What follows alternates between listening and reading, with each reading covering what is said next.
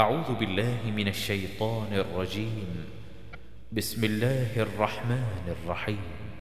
عبداللہ بن مسلمہ بن قعنب، حماد بن سلمہ، ثابت، حمید، حضرت انس بن مالک رضی اللہ تعالی عنہ سے روایت ہے، فرماتے ہیں کہ رسول اللہ صلی اللہ علیہ وسلم نے فرمایا، جنت تکلیفوں سے گھری ہوئی ہے جبکہ دوزخ نفسانی خواہشات سے گھری ہوئی ہے۔ زہیر بن حرب، شباباہ ورقا ابی زناد، اعرج حضرت ابو حریرہ رضی اللہ تعالی عنہ نبی صلی اللہ علیہ وسلم سے مذکورہ حدیث کی طرح حدیث نقل کرتے ہیں۔ سعید بن عمرو اشعسی زہیر بن حرب، زہیر، سعید، سفیان، ابی زناد، اعرج حضرت ابو حریرہ رضی اللہ تعالی عنہ نبی صلی اللہ علیہ وسلم سے روایت کرتے ہوئے فرماتے ہیں کہ آپ صلی اللہ علیہ وسلم نے فرمایا، اللہ عز و جل نے فرمایا، میں نے اپنے نیک بندوں کے لیے ایسی ایسی چیزیں تیار کر رکھی ہیں کہ جنہیں نہ کسی آنکھ نے دیکھا اور نہ ہی کسی انسان کے دل پر ان کا خیال گزرا۔ اس کی تصدیق اللہ تعالی کی کتاب میں موجود ہے۔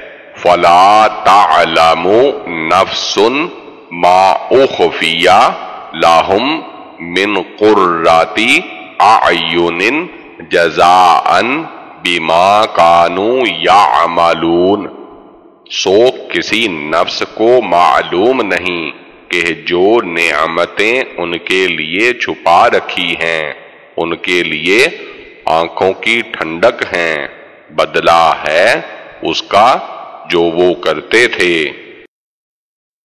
ہارون بن سعید ایلی ابن وحب مالک ابی زناد اعرج حضرت ابو حریرہ رضی اللہ تعالی عنہ سے روایت ہے کہ نبی صلی اللہ علیہ وسلم نے فرمایا، اللہ عز و جل نے فرمایا، میں نے اپنے نیک بندوں کے لیے ایسی ایسی چیزیں تیار کر رکھی ہیں کہ جنہیں نہ کسی آنکھ نے دیکھا اور نہ ہی کسی کان نے سنا اور نہ ہی کسی انسان کے دل پر ان کا خیال گزرا اور وہ نعمتیں ان کے لیے جمع کر رکھی ہیں۔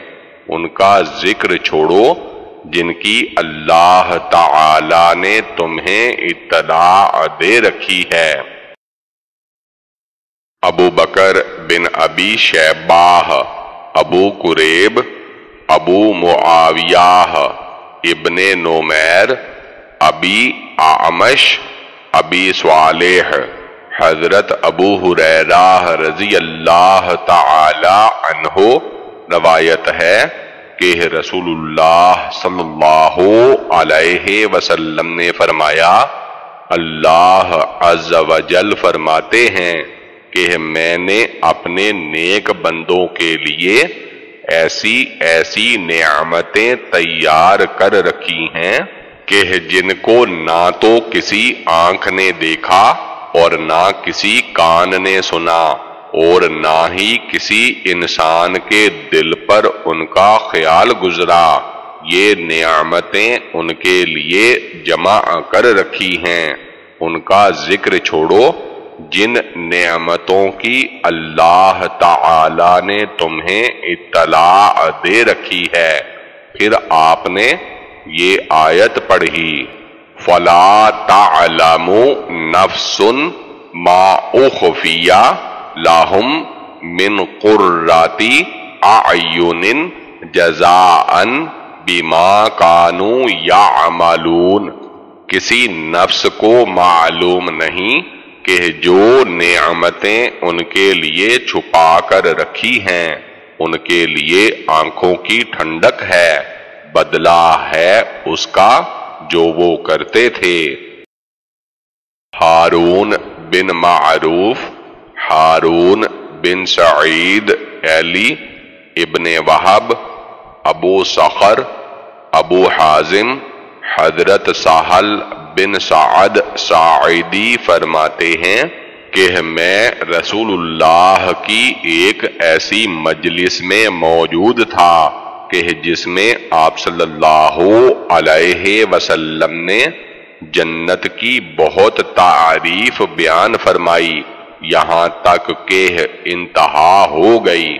پھر آپ نے اپنے بیان کے آخر میں فرمایا کہ جنت میں ایسی ایسی نعمتیں ہیں کہ جن کو نہ تو کسی آنکھ نے دیکھا اور نہ کسی کان نے سنا اور نہ کسی انسان کے دل پر ان کا خیال گزرا۔ پھر آپ صلی اللہ علیہ وسلم نے یہ آیت کریمہ پڑھی۔ تتا جافا جنوبہم عن المزاجع يدعون ربهم خوفا وطمعا ومما رزقناهم ينفقون. فلا تعلم نفس ما أخفي لهم من قرة أعين جزاء بما كانوا يعملون. جدا رہتی ہیں، ان کی کروٹیں اپنے سونے کی جگہوں سے پکارتے ہیں، اپنے رب کو ڈر سے اور لالچ سے، اور ہمارا دیا ہوا خرچ کرتے ہیں۔ سو، کسی جی کو معلوم نہیں، جو چھپا رکھی ہے، ان کے لیے آنکھوں کی ٹھنڈک بدلہ ہے اس کا جو وہ کرتے تھے۔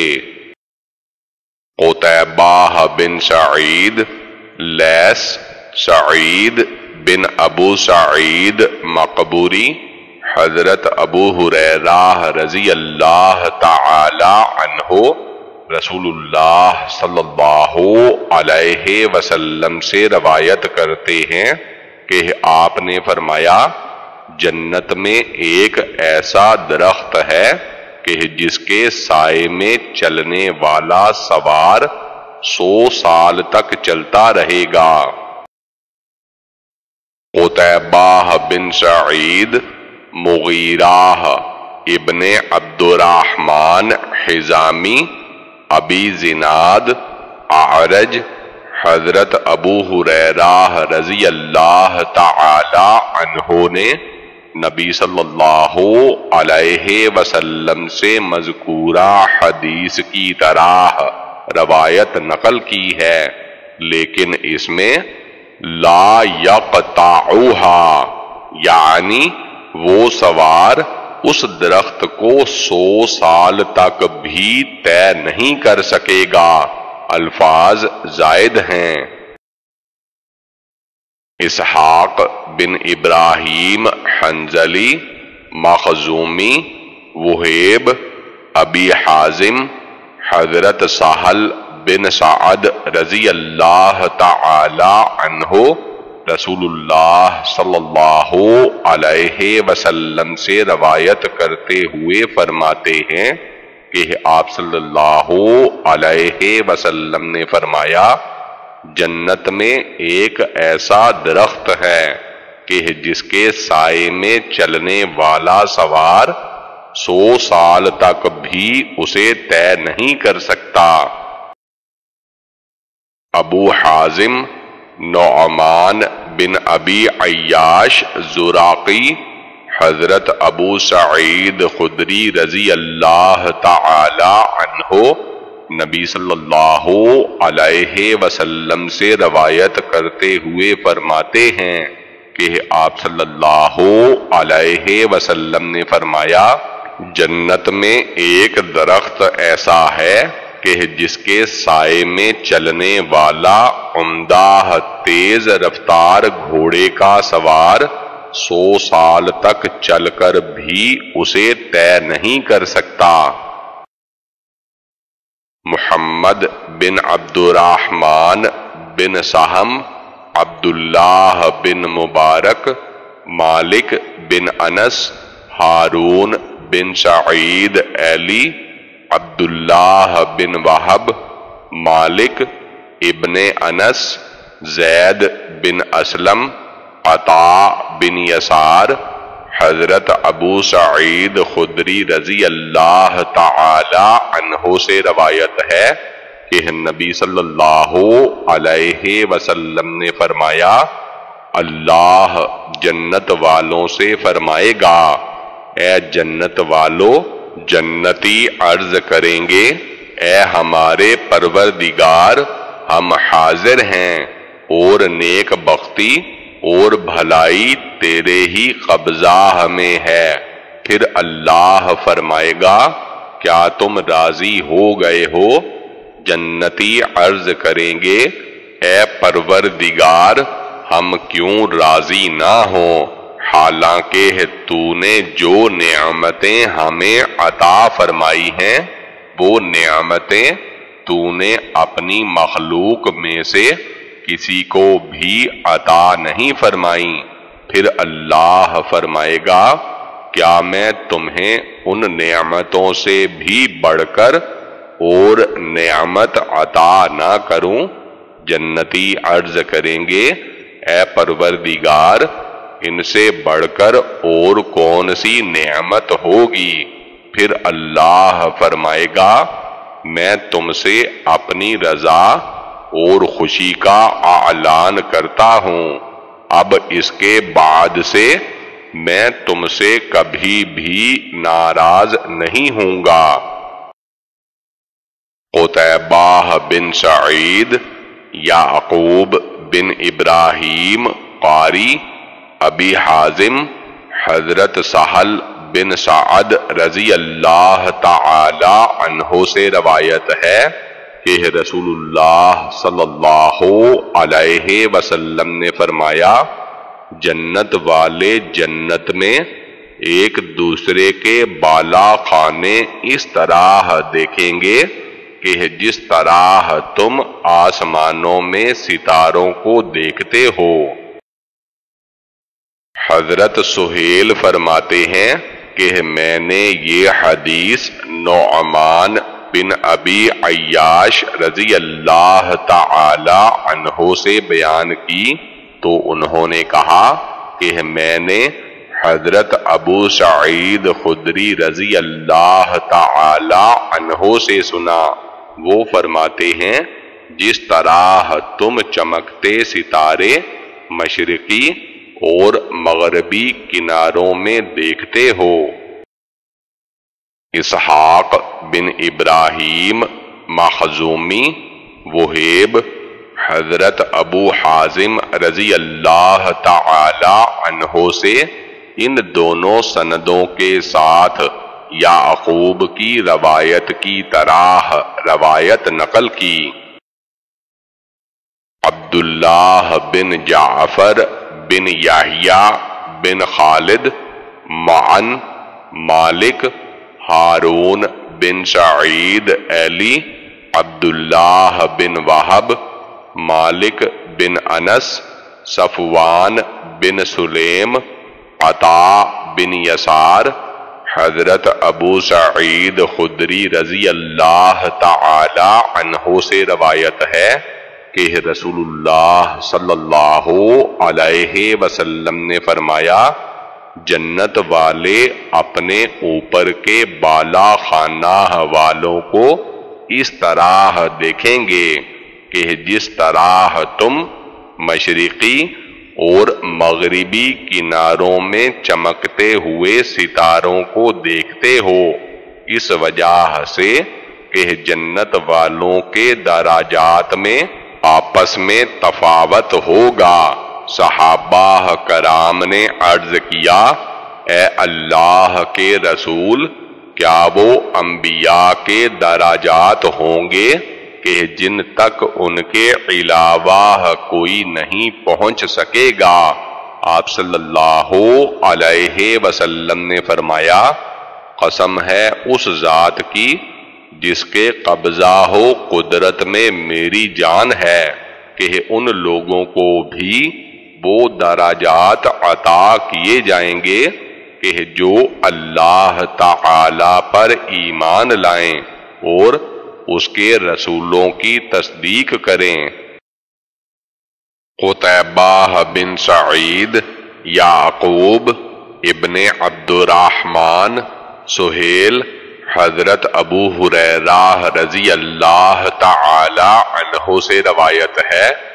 کہ رسول اللہ صلی اللہ علیہ وسلم نے فرمایا، میری امت میں سب سے زیادہ مجھے پیارے وہ لوگ ہوں گے جو میرے بعد آئیں گے، لیکن ان کی تمنا ہوگی، کہ کاش، کہ اپنے گھر والے اور مال کے بدلاہ میں میرا دیدار کر لے۔ ابو عثمان سعید بن عبد الجبار بصری، حماد بن سلمہ، ثابت بنانی، حضرت انس بن مالک رضی اللہ تعالی عنہ سے روایت ہے کہ رسول اللہ صلی اللہ علیہ وسلم نے فرمایا، جنت میں ایک ایسا بازار ہے کہ جس میں جنتی لوگ ہر جمعہ کو آیا کریں گے، پھر شمالی ہوا چلائی جائے گی، جو کہ وہاں کا گرد و غبار، جو کہ مشکو زعفران کی صورت میں ہوگا۔ جنتیوں کے چہروں اور ان کے کپڑوں پر اڑا کر ڈال دے گی، جس سے جنتیوں کے حسن و جمال میں اور اضافہ ہو جائے گا۔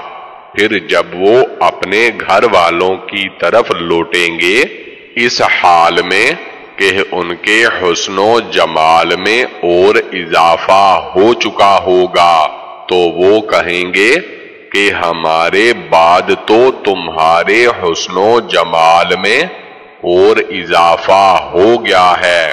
وہ کہیں گے اللہ کی قسم، ہمارے بعد تمہارے حسن و جمال میں بھی تو اور اضافہ ہو گیا ہے۔ عمرو ناقد، یعقوب بن ابراہیم ابن علیہ یعقوب اسماعیل ابن علیہ ایوب حضرت محمد رضی اللہ تعالی عنہ سے روایت ہے کہ لوگوں نے اس بات پر فخر کیا یا اس بات کا ذکر کیا کہ جنت میں زیادہ تعداد مردوں کی ہوگی یا عورتوں کی، تو حضرت ابو حریرہ رضی اللہ تعالی عنہ نے فرمایا کہ ابو القاسم صلی اللہ علیہ وسلم نے فرمایا کہ جنت میں سب سے پہلا گروہ جو داخل ہوگا، ان کی صورتیں چودہویں رات کے چاند کی طرح ہوں گی اور وہ گروہ جو ان کے بعد جنت میں داخل ہوگا ان کی صورتیں چمکتے ہوئے ستاروں کی طرح روشن ہوں گی ان میں سے ہر ایک جنتی کی دو بیویاں ہوں گی جن کی پنڈلیوں کا مغز گوشت کے پیچھے سے چمکے گا اور جنت میں کوئی آدمی بھی بیوی کے بغیر نہیں ہوگا ابن ابی عمر سفیان ایوب حضرت ابن سیرین روایت فرماتے ہیں کہ مرد اور عورت کے درمیان اس بات پر جھگڑا ہوا کہ جنت میں کن کی تعداد زیادہ ہوگی۔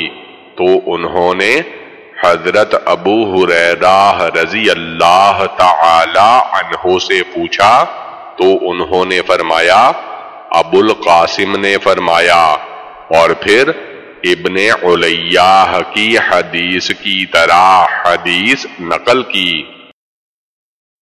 قطبہ بن سعید عبد الواحد ابن زیاد، عمارہ بن قعقاع، ابو زرعاہ حضرت ابو حریرہ رضی اللہ تعالی عنہ سے روایت ہے۔ کہ رسول اللہ صلی اللہ علیہ وسلم نے فرمایا، جنت میں جو گروہ سب سے پہلے داخل ہوگا، ان کی صورتیں چودہویں رات کے چاند کی طرح ہوں گی اور اس گروہ کے بعد جو لوگ جنت میں داخل ہوں گے، ان کی صورتیں انتہائی چمکتے ہوئے ستاروں کی طرح ہوں گی۔ وہ یعنی جنتی نہ پیشاب کریں گے اور نہ پاخانہ اور نہ تھوکیں گے اور نہ ناک صاف کریں گے اور ان کی کنگھیاں سونے کی ہوں گی اور ان کا پسینہ مشک ہوگا اور ان کی انگیٹھیوں میں عود سلگ رہا ہوگا اور ان کی بیویاں بڑی آنکھوں والی ہوں گی اور ان سب کے اخلاق ایک جیسے ہوں گے اور وہ سب اپنے باپ آدم کی صورت پر ہوں گے اور ان کا قد آسمان میں ساٹھ ہاتھ کا ہوگا ابو بکر بن ابی شیباہ ابو قریب، ابو معاویہ آمش ابو صالح، حضرت ابو حریرہ رضی اللہ تعالی عنہ سے روایت ہے کہ رسول اللہ صلی اللہ علیہ وسلم نے فرمایا، میری امت میں سب سے پہلا گروہ جو جنت میں داخل ہوگا ان کی صورتیں چودہویں رات کے چاند کی طرح ہوں گی پھر جو گروہ ان کے بعد جنت میں داخل ہوگا، ان کی صورتیں انتہائی چمکتے ہوئے ستاروں کی طرح ہوں گی پھر ان کے بعد درجہ بدرجہ مراتب ہوں گے اور وہ ناپاخانہ کریں گے۔ اور نہ پیشاب کریں گے، اور نہ ناک صاف کریں گے، اور نہ تھوکیں گے، اور ان کی کنگھیاں سونے کی ہوں گی، اور ان کی انگیٹھیوں میں عود سلگ رہا ہوگا، اور ان کا پسینہ مشک ہوگا۔ ان سب کے اخلاق ایک جیسے ہوں گے، وہ اپنے قد میں اپنے باپ حضرت آدم علیہ السلام کی طرح ساٹھ ہاتھ لمبے ہوں گے۔ محمد بن رافع عبد الرزاق معمر، حمام بن منبہ حضرت ابو حریرہ رضی اللہ تعالی عنہ سے روایت ہے۔ کہ رسول اللہ صلی اللہ علیہ وسلم نے فرمایا، سب سے پہلا گروہ جو جنت میں داخل ہوگا، ان کی صورتیں چودہویں رات کے چاند کی طرح ہوں گی۔ وہ جنت میں نہ تھوکیں گے اور نہ ہی ناک صاف کریں گے اور نہ ہی پاخانہ کریں گے۔ ان کے برتن اور ان کی کنگھیاں سونے اور چاندی کی ہوں گی اور ان کی کنگھیوں میں عود سلگ رہا ہوگا اور ان کا پسینہ مشک کی طرح ہوگا اور ان جنتیوں میں سے ہر ایک کے لیے دو بیویاں ہوں گی جن کی پنڈلیوں کا مغز خوبصورتی کی وجہ سے گوشت کے اندر سے دکھائی دے گا۔ نہ ہی جنت والے آپس میں اختلاف کریں گے اور نہ ہی آپس میں بغض رکھیں گے۔ ان کے دل ایک دل کی طرح ہوں گے۔ صبح و شام اللہ کی پاکی بیان کریں گے۔ عثمان بن ابی شیباہ اسحاق بن ابراہیم، عثمان، اسحاق، جریر آمش ابی سفیان، حضرت جابر رضی اللہ تعالی عنہ سے روایت ہے کہ میں نے نبی صلی اللہ علیہ وسلم سے سنا، آپ صلی اللہ علیہ وسلم فرماتے ہیں کہ جنت والے جنت میں کھائیں گے، اور پیئیں گے، اور تھوکیں گے نہیں، اور نہ ہی پیشاب کریں گے، اور نہ ہی پاخانہ کریں گے، اور نہ ہی ناک صاف کریں گے۔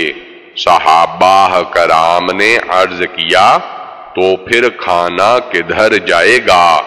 آپ صلی اللہ علیہ وسلم نے فرمایا، ڈکار اور پسینہ آئے گا، اور پسینہ مشک کی طرح خوشبو دار ہوگا، اور ان کو تسبیح یعنی سبحان اللہ اور تحمید یعنی الحمدللہ کا الہام ہوگا، جس طرح کہ انہیں سانس کا الہام ہوتا ہے۔ ابو بکر بن ابی شیباہ، ابو قریب، ابو معاویہ حضرت آمش رضی اللہ تعالی عنہ سے اس سند کے ساتھ کرش ہل مس کی یعنی جنت والوں کا پسینہ مشک کی طرح خوشبودار ہوگا، تک روایت نقل کی گئی ہے۔ حسن بن علی حلوانی، حجاج بن شاعر، ابو عاصم، حسن ابن جریج، ابو زبیر، حضرت جابر بن عبداللہ رضی اللہ تعالی عنہ فرماتے ہیں کہ رسول اللہ صلی اللہ علیہ وسلم نے فرمایا، جنت والے جنت میں کھائیں گے۔ اور پیئیں گے، لیکن وہ اس میں پاخانہ نہیں کریں گے۔ لیکن ان کا کھانا ایک ڈکار کی صورت میں تحلیل ہو جائے گا، جس سے مشک کی طرح خوشبو آئے گی اور ان کو تسبیح و تحمید اس طرح سکھائی جائے گی۔ جس طرح تمہیں سانس لینا سکھایا گیا ہے، اور حجاج کی حدیث میں تعامہم ذالکا یعنی ان کا کھانا کے الفاظ ہیں۔ سعید بن یاہیا اماوی ابن جریج، ابو زبیر حضرت جابر رضی اللہ تعالی عنہ نے نبی صلی اللہ علیہ وسلم سے مذکورہ حدیث کی طرح روایت نقل کی ہے۔ سوائے اس کے کہ اس میں انہوں نے کہا اور ان کو تسبیح و تکبیر سکھائی جائے گی۔ جس طرح کہ تمہیں سانس لینا سکھایا جاتا ہے۔ زہیر بن حرب عبد الرحمن بن مہدی، حماد بن سلمہ ثابت، ابی رافع، حضرت ابو حریرہ رضی اللہ تعالی عنہ، نبی صلی اللہ علیہ وسلم سے روایت کرتے ہیں کہ آپ صلی اللہ علیہ وسلم نے فرمایا جو آدمی جنت میں داخل ہو جائے گا، وہ نعمتوں میں ہو جائے گا۔ اسے کبھی کوئی تکلیف نہیں ہوگی اور نہ ہی اس کے کپڑے پرانے ہوں گے اور نہ ہی اس کی جوانی ختم ہوگی۔ اسحاق بن ابراہیم، عبد بن حمید، اسحاق عبد الرزاق ابو اسحاق حضرت ابو سعید رضی اللہ تعالی عنہ اور حضرت ابو حریرہ رضی اللہ تعالی عنہ سے روایت ہے کہ نبی صلی اللہ علیہ وسلم نے فرمایا، ایک آواز دینے والا آواز دے گا۔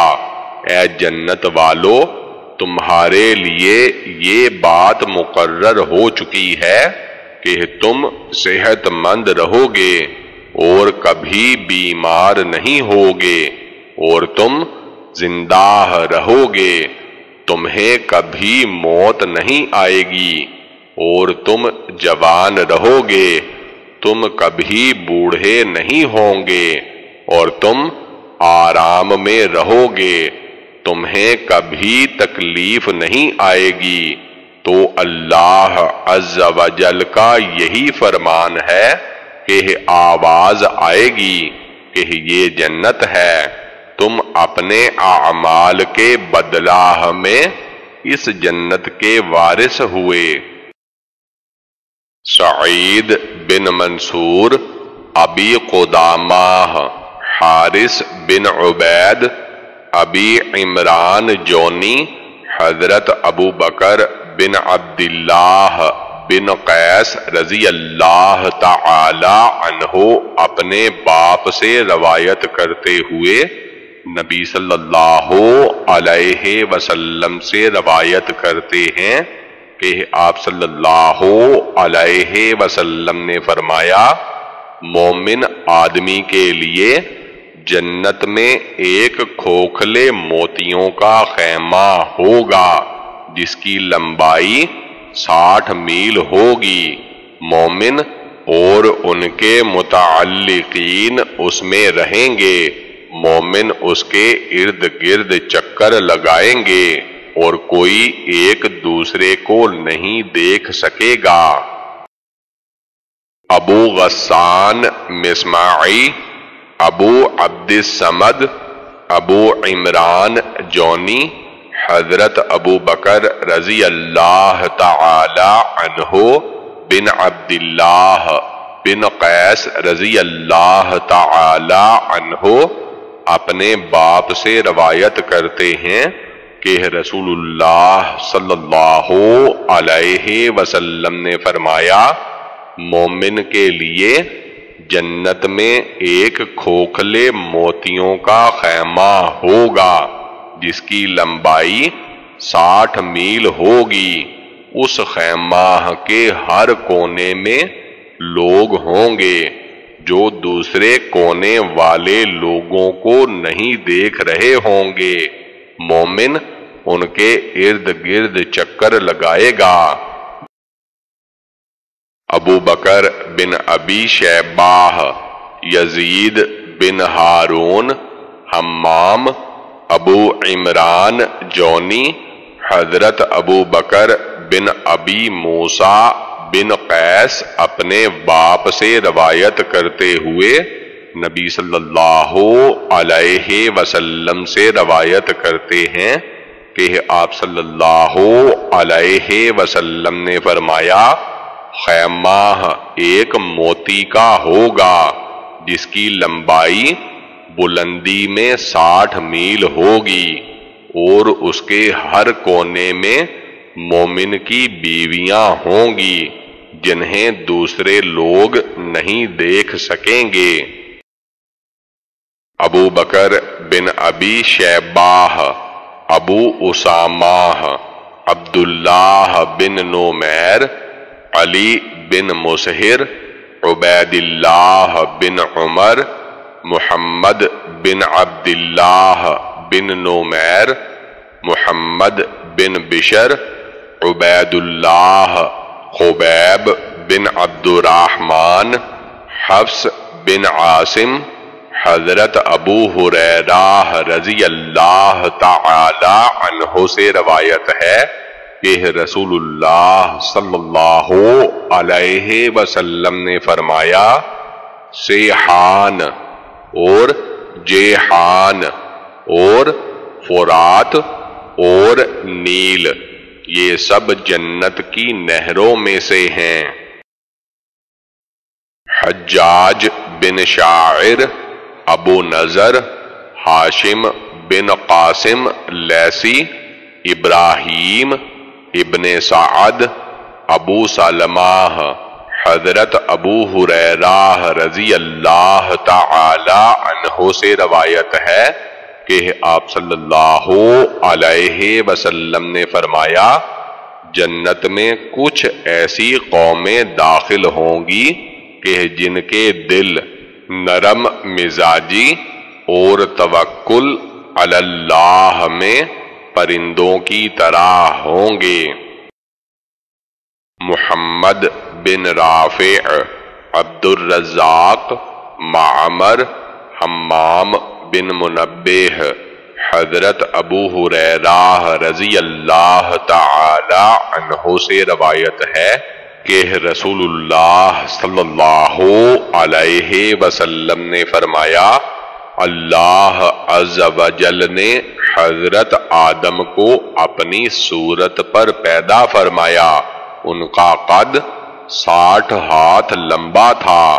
پھر جب اللہ عز و جل حضرت آدم کو پیدا فرما چکا تو فرمایا، جاؤ اور فرشتوں کی اس جماعت کو سلام کرو اور وہاں بہت سے فرشتے بیٹھے ہیں۔ پھر تم سننا کہ وہ تمہیں کیا جواب دیتے ہیں، کیونکہ وہ فرشتے تمہیں جو جواب دیں گے، وہی تمہارا اور تمہاری اولاد کا سلام ہوگا۔ آپ نے فرمایا، حضرت آدم گئے اور فرمایا، السلام علیکم فرشتوں نے جواب میں کہا، السلام علیکہ ورحمت اللہ آپ نے فرمایا، فرشتوں نے جواب میں ورحمت اللہ کا اضافہ کر دیا۔ تو ہر آدمی کہ جو جنت میں داخل ہوگا، وہ حضرت آدم کی صورت پر ہوگا اور اس کا قد ساٹھ ہاتھ لمبا ہوگا۔ پھر حضرت آدم کے بعد جتنے لوگ بھی پیدا ہوئے، ان کے قد چھوٹے ہوتے رہے۔ یہاں تک کہ یہ زمانہ آ گیا۔ عمر بن حفظ ابن غیاس ابی علا بن خالد کاہلی شقیق حضرت عبداللہ رضی اللہ تعالی عنہ سے روایت ہے کہ رسول اللہ صلی اللہ علیہ وسلم نے ارشاد فرمایا، جہنم کو لایا جائے گا۔ اس دن جہنم کی ستر ہزار لگامیں ہوں گی اور ہر ایک لگام کو ستر ہزار فرشتے پکڑے ہوئے کھینچ رہے ہوں گے۔ قطبہ بن سعید، مغیرہ بن عبد الرحمن حزامی، ابی زناد آرج حضرت ابو حریرہ رضی اللہ تعالی عنہ سے روایت ہے کہ نبی صلی اللہ علیہ وسلم نے فرمایا، تمہاری یہ آگ جس کو ابن آدم جلاتا ہے جہنم کی گرمی کے ستر حصوں میں سے ایک حصہ ہے۔ صحابہ نے عرض کیا، اے اللہ کے رسول، کیا یہی دنیا کی آگ کافی نہیں تھی؟ آپ صلی اللہ علیہ وسلم نے اس سے انہتر حصے گرمی کے جہنم میں گرمی زیادہ ہے۔ ہر حصے میں اتنی ہی گرمی ہے۔ محمد بن رافع عبد الرزاق معمر، حمام بن منبہ حضرت ابو حریرہ رضی اللہ تعالی عنہ، نبی صلی اللہ علیہ وسلم سے ابو زناد کی روایت کی طرح حدیث نقل کی۔ سوائے اس کے کہ اس میں لفظی فرق ہے یعنی کلو ہننا مسلو ہر کا لفظ ہے۔ یحییٰ بن ایوب، خلف بن خلیفہ، یزید بن کیسان، ابی حازم حضرت ابو حریرہ رضی اللہ تعالی عنہ سے روایت ہے کہ ہم رسول اللہ کے ساتھ تھے اور ایک گڑ گراہٹ کی آواز سنائی دی تو نبی صلی اللہ علیہ وسلم نے فرمایا، تم جانتے ہو کہ یہ کیا ہے؟ راوی کہتے ہیں کہ ہم نے عرض کیا اللہ اور اس کا رسول ہی زیادہ جانتے ہیں۔ آپ صلی اللہ علیہ وسلم نے فرمایا، یہ ایک پتھر ہے جو کہ ستر سال پہلے دوزخ میں پھینکا گیا تھا اور وہ لگاتار دوزخ میں گر رہا تھا۔ یہاں تک کہ وہ پتھر اب اپنی تہ تک پہنچا ہے۔ محمد بن عباد ابن ابی عمر، مروان، یزید بن کیسان، ابی حازم، حضرت ابو حریرہ رضی اللہ تعالی عنہ سے اس سند کے ساتھ روایت نقل کی گئی ہے، لیکن اس میں ہے کہ آپ صلی اللہ علیہ وسلم نے فرمایا، یہ پتھر اس وقت اپنی تہ میں پہنچا ہے کہ جس کی تم نے آواز سنی تھی۔ ابو بکر بن ابی شیباہ، یونس بن محمد، شیبان بن عبد الرحمن قطادہ ابو نظراہ حضرت سامراہ سے روایت ہے کہ انہوں نے اللہ کے نبی صلی اللہ علیہ وسلم سے سنا۔ آپ صلی اللہ علیہ وسلم فرماتے ہیں کہ دوزخیوں میں سے کچھ کو آگ ان کے ٹخنوں تک پکڑے گی اور ان سے کچھ کو ان کے گھٹنوں تک اور ان میں سے کچھ کو ان کی کمر تک اور ان میں سے کچھ کو ان کی گردن تک آگ پکڑے گی۔ امرو بن زراراہ عبد الوہاب ابن عطا، سعید قطادہ ابو نظراہ حضرت سمراہ بن جندب رضی اللہ تعالی عنہ سے روایت ہے۔ کہ دوزخیوں میں سے کچھ کو آگ ان کے ٹخنوں تک پکڑے گی اور ان میں سے کچھ کو ان کے گھٹنوں تک اور ان میں سے کچھ کو ان کی کمر تک اور ان میں سے کچھ کو ان کی ہنسلی تک آگ پکڑے گی۔ محمد بن مسنہ، محمد بن بشار، روح۔ حضرت سعید اس سند کے ساتھ روایت بیان کرتے ہیں، لیکن اس روایت میں حج ذاتی ہی یعنی ان کی کمر تک کی جگہ حقوی ہی یعنی ازار باندھنے کی جگہ تک کا لفظ ہے۔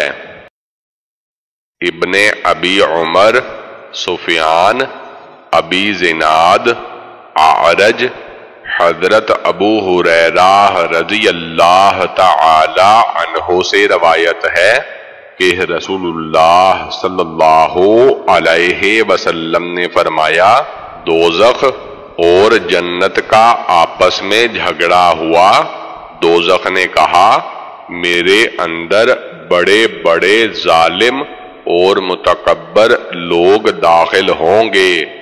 اور جنت نے کہا، میرے اندر کمزور اور مسکین لوگ داخل ہوں گے۔ تو اللہ عز و جل نے دوزخ سے فرمایا، تو میرا عذاب ہے، میں تیرے ذریعے جسے چاہوں گا عذاب دوں گا۔ اور اللہ تعالی نے جنت سے فرمایا، تو میری رحمت ہے۔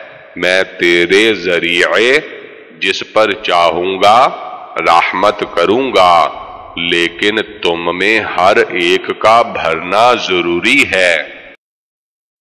محمد بن رافع، شباباہ، ورقا، ابی زناد آرج حضرت ابو حریرہ رضی اللہ تعالی عنہ۔ نبی صلی اللہ علیہ وسلم سے روایت کرتے ہوئے فرماتے ہیں کہ دوزخ اور جنت میں جھگڑا ہوا تو دوزخ نے کہا، مجھے متکبر اور ظالم لوگوں کی وجہ سے فضیلت دی گئی ہے۔ اور جنت نے کہا کہ پھر اس کی کیا وجہ ہے؟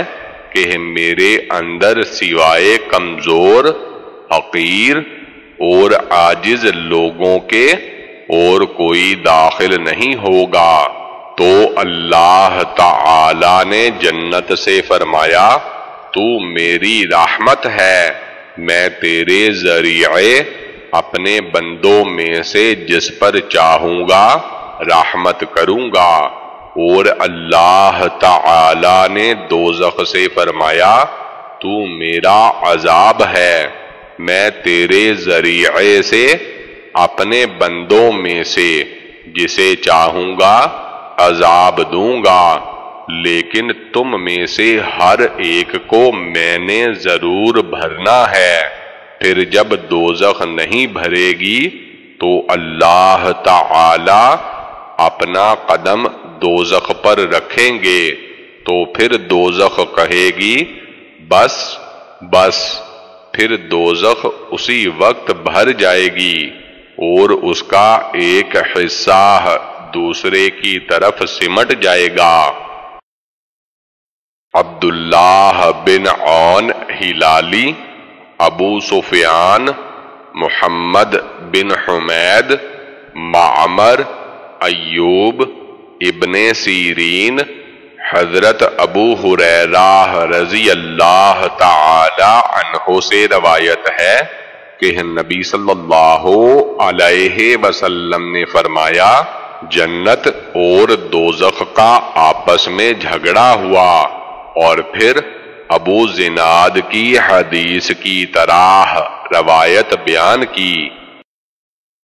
محمد بن رافع عبد الرزاق معمر حمام بن منبہ حضرت ابو حریرہ رضی اللہ تعالی عنہ سے روایت ہے کہ رسول اللہ صلی اللہ علیہ وسلم نے فرمایا، جنت اور دوزخ کا آپس میں جھگڑا ہوا۔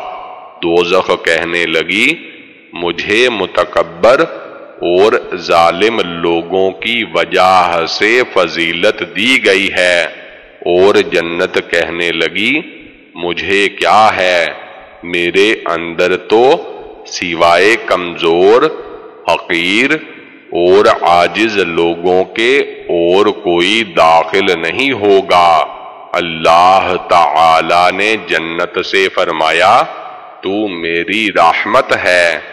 میں تیرے ذریعے اپنے بندوں میں سے جس پر چاہوں گا رحم کروں گا۔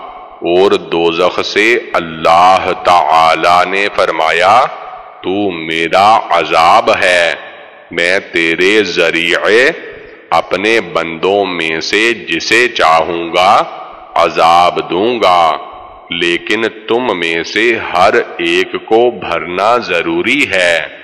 پھر جب دوزخ نہیں بھرے گی تو اللہ تعالی اس پر اپنا قدم رکھیں گے تو دوزخ کہے گی، بس بس، پھر وہ بھر جائے گی اور اللہ اپنی مخلوق میں سے کسی پر ظلم نہیں کرے گا اور جنت کو بھرنے کے لیے اللہ تعالی ایک نئی مخلوق پیدا فرمائے گا۔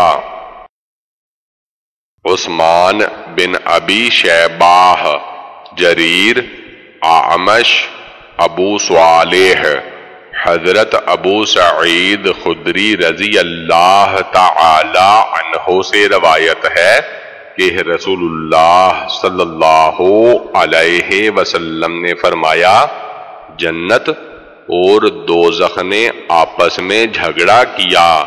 اور پھر حضرت ابو حریرہ رضی اللہ تعالی عنہ کی حدیث کی طرح اس قول تک کہ تم دونوں کا مجھ پر بھرنا ضرور ہے۔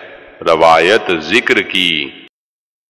عبد بن حمید، یونس بن محمد، شیبان قطادہ حضرت انس بن مالک رضی اللہ تعالی عنہ بیان فرماتے ہیں کہ اللہ کے نبی نے فرمایا، دوزخ لگاتار یہی کہتی رہے گی، حل من مزید یعنی کیا کچھ اور بھی ہے؟ یہاں تک کہ جب اللہ تعالی اس میں اپنا قدم رکھے گا تو پھر دوزخ کہے گی، تیری عزت کی قسم، بس، اور اس کا ایک حصہ سمٹ کر دوسرے حصے سے مل جائے گا۔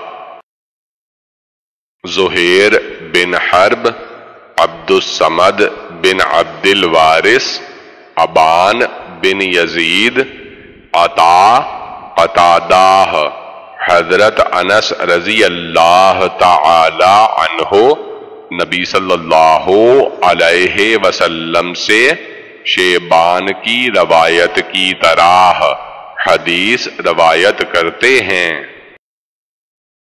محمد بن عبداللہ رازی عبد الوہاب بن عطا حضرت انس بن مالک رضی اللہ تعالی عنہ نبی صلی اللہ علیہ وسلم سے روایت کرتے ہیں کہ آپ صلی اللہ علیہ وسلم نے فرمایا دوزخ میں لگاتار لوگوں کو ڈالا جائے گا اور وہ کہتی رہے گی، کیا کچھ اور بھی ہے؟ یہاں تک کہ اللہ تعالی اس میں اپنا قدم رکھے گا تو دوزخ کا ایک حصہ سمٹ کر دوسرے حصے میں مل جائے گا اور دوزخ کہے گی، تیری عزت اور تیرے کرم کی قسم، بس بس، اور جنت میں برابر حصہ بچا ہوا ہوگا۔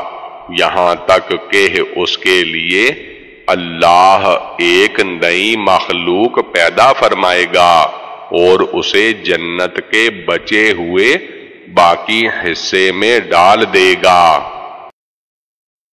زہیر بن حرب، عفان، حماد، ابن سلمہ، ثابت، حضرت انس نبی صلی اللہ علیہ وسلم سے روایت کرتے ہوئے فرماتے ہیں کہ آپ نے فرمایا، اللہ تعالی جنت کا جتنا حصہ باقی رکھنا چاہے گا، وہ باقی رہ جائے گا۔ پھر اللہ تعالی جسے چاہے گا، اس کے لیے ایک نئی مخلوق پیدا فرما دے گا۔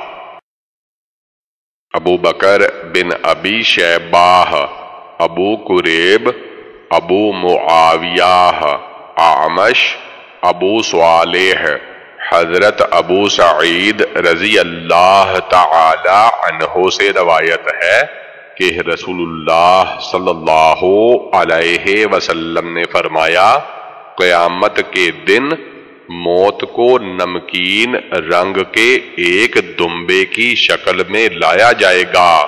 ابو قریب کی روایت میں یہ الفاظ زائد ہیں کہ اس دمبے کو جنت اور دوزخ کے درمیان لا کر کھڑا کر دیا جائے گا۔ پھر اللہ فرمائے گا، اے جنت والو، کیا تم اسے پہچانتے ہو؟ جنتی اپنی گردنیں اٹھا کر دیکھیں گے اور کہیں گے جی ہاں یہ موت ہے۔ پھر اللہ کی طرف سے حکم دیا جائے گا کہ اسے ذباح کر دیا جائے۔ پھر اسے ذباح کر دیا جائے گا۔ پھر اللہ فرمائے گا، اے جنت والو، اب جنت میں ہمیشہ رہنا ہے، موت نہیں ہے۔ اور اے دوزخ والو، اب تمہیں دوزخ میں رہنا ہے، اب موت نہیں ہے۔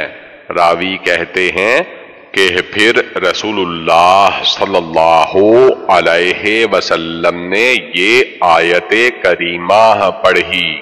وَأَنزِرْهُمْ يَوْمَ الْحَسْرَاتِ اِذْ قُزِيَ الْأَمْرُ وَهُمْ فِي غَفْلَاتٍ وَهُمْ لَا يُؤْمِنُونَ اور ان لوگوں کو حسرت کی دن سے ڈرائیے جب ہر بات کا فیصلہ ہو جائے گا اور وہ غفلت میں پڑے ہیں، ایمان نہیں لاتے۔ اور آپ صلی اللہ علیہ وسلم اپنے ہاتھ مبارک سے دنیا کی طرف اشارہ فرما رہے تھے۔ عثمان بن ابی شیباہ، جریر آمش ابو صالح، حضرت ابو سعید رضی اللہ تعالی عنہ سے روایت ہے کہ رسول اللہ صلی اللہ علیہ وسلم نے فرمایا، جب جنت والوں کو جنت میں اور دوزخ والوں کو دوزخ میں داخل کر دیا جائے گا تو کہا جائے گا اے جنت والو، پھر ابو معاویہ کی روایت کی طرح روایت ذکر کی، سوائے اس کے کہ اس میں فضالی کا عز وجل ولم یقل کے الفاظ ہیں اور یہ نہیں کہا کہ پھر رسول اللہ صلی اللہ علیہ وسلم نے آیت پڑھی۔ اور اپنے ہاتھ مبارک سے دنیا کی طرف اشارہ کیا۔ زہیر بن حرب، حسن بن علی حلوانی، عبد بن حمید، عبد یعقوب ابن ابراہیم بن سعد، ابو صالح، نافع حضرت عبداللہ رضی اللہ تعالی عنہ فرماتے ہیں کہ رسول اللہ صلی اللہ علیہ وسلم نے ارشاد فرمایا، اللہ تعالی جنت والوں کو جنت میں داخل فرما دے گا اور دوزخ والوں کو دوزخ میں داخل فرما دے گا، پھر ان کے سامنے پکارنے والا کھڑا ہوگا۔ اور کہے گا، اے جنت والو، اب موت نہیں ہے، اور اے دوزخ والو، اب موت نہیں ہے۔ ہر آدمی جس حالت میں ہے، وہ اسی میں ہمیشہ رہے گا۔ ہارون بن سعید ایلی حرملہ بن یاہیا ابن واہب عمر بن محمد زید بن حضرت ابن عمر رضی اللہ تعالی عنہ سے روایت ہے کہ رسول اللہ صلی اللہ علیہ وسلم نے فرمایا، جب جنت والے جنت کی طرف چلے جائیں گے اور دوزخ والے دوزخ کی طرف چلے جائیں گے، تو پھر موت کو جنت اور دوزخ کے درمیان لایا جائے گا۔ پھر اسے ذباح کیا جائے گا۔ پھر ایک پکارنے والا پکارے گا۔ اے جنت والو، اب موت نہیں ہے۔ اور اے دوزخ والو، اب موت نہیں ہے۔ تو پھر جنت والوں کی خوشی بڑھ جائے گی۔ اور دوزخ والوں کی پریشانی میں اور زیادتی ہو جائے گی۔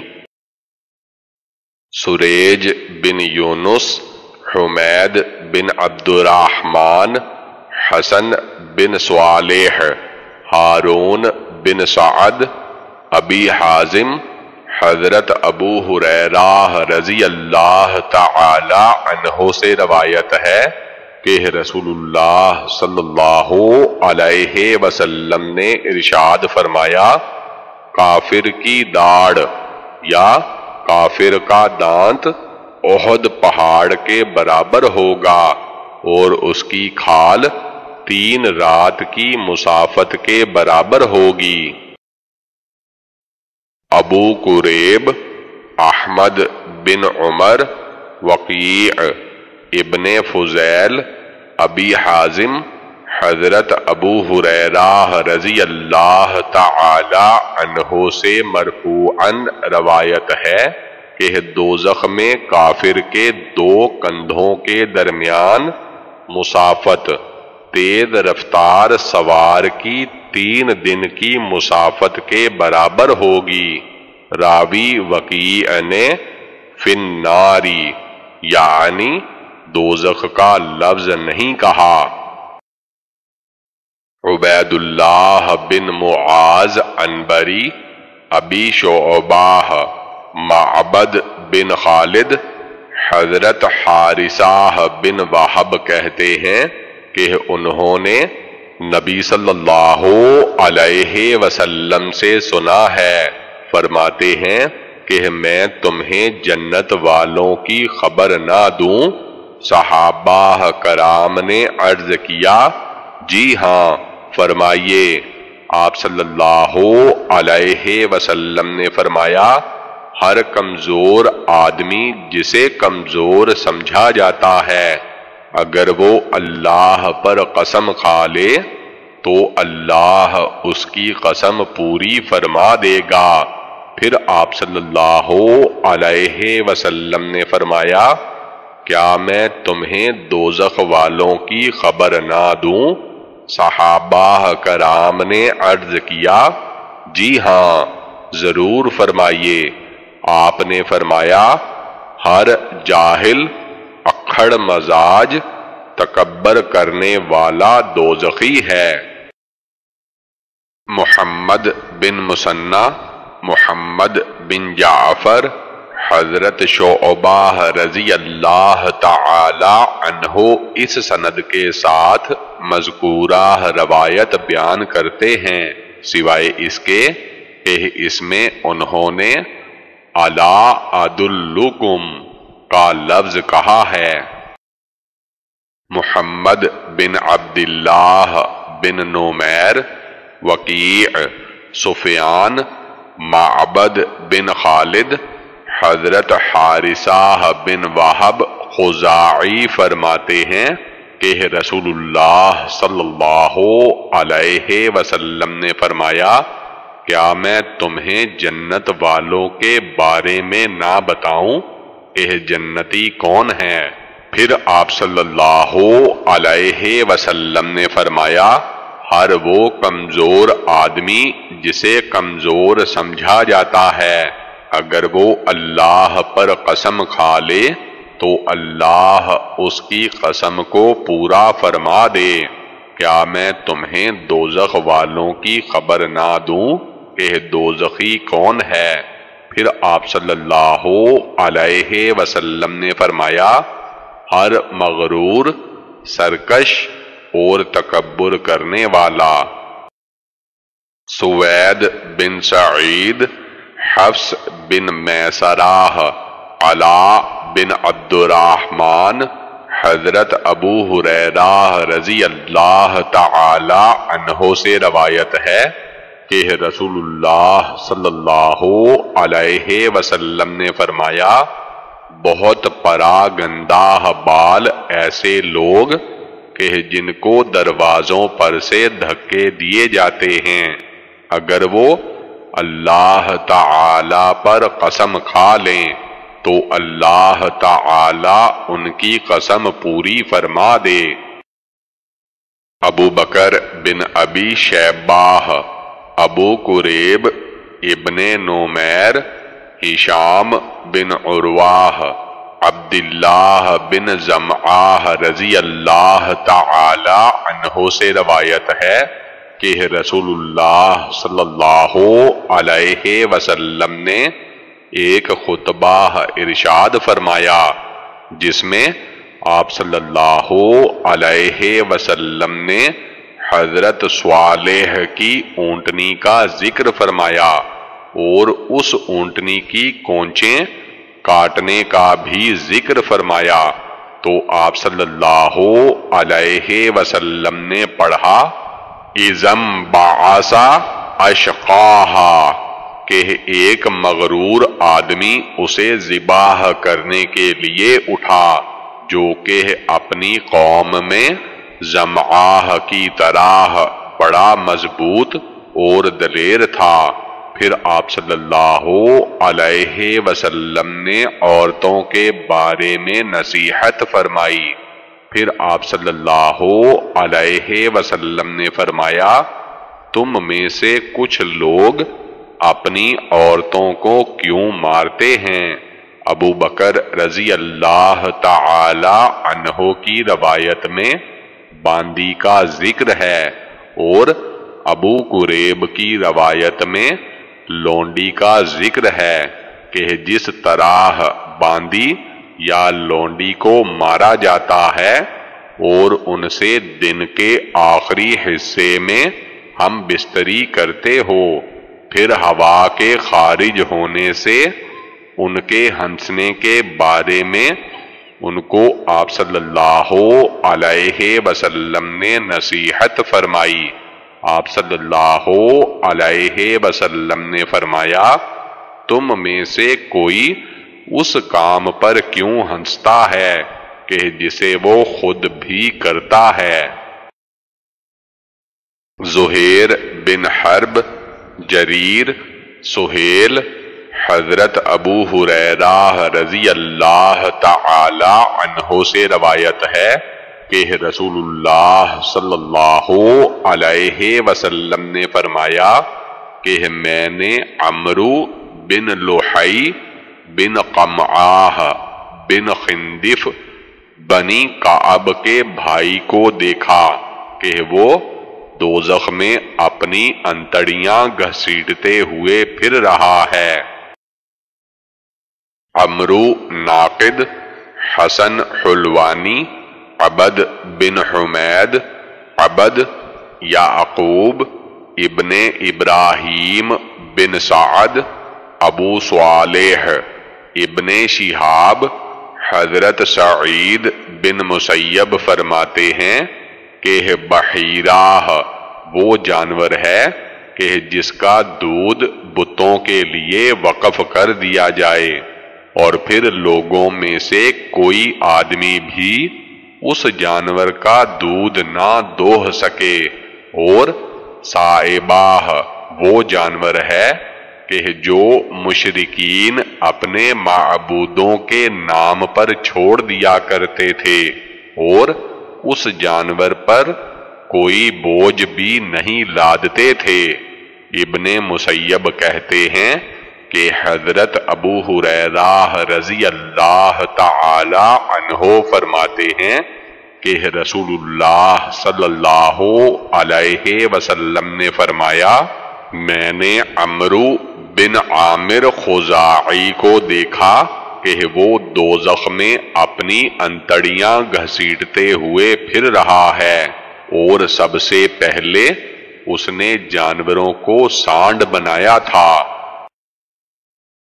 زہیر بن حرب، جریر، سہیل، حضرت ابو حریرہ رضی اللہ تعالی عنہ سے روایت ہے کہ رسول اللہ صلی اللہ علیہ وسلم نے فرمایا، دو زخیوں کی دو قسمیں ایسی ہیں کہ انہیں میں نے نہیں دیکھا۔ ایک قسم تو اس قوم کے لوگوں کی ہے۔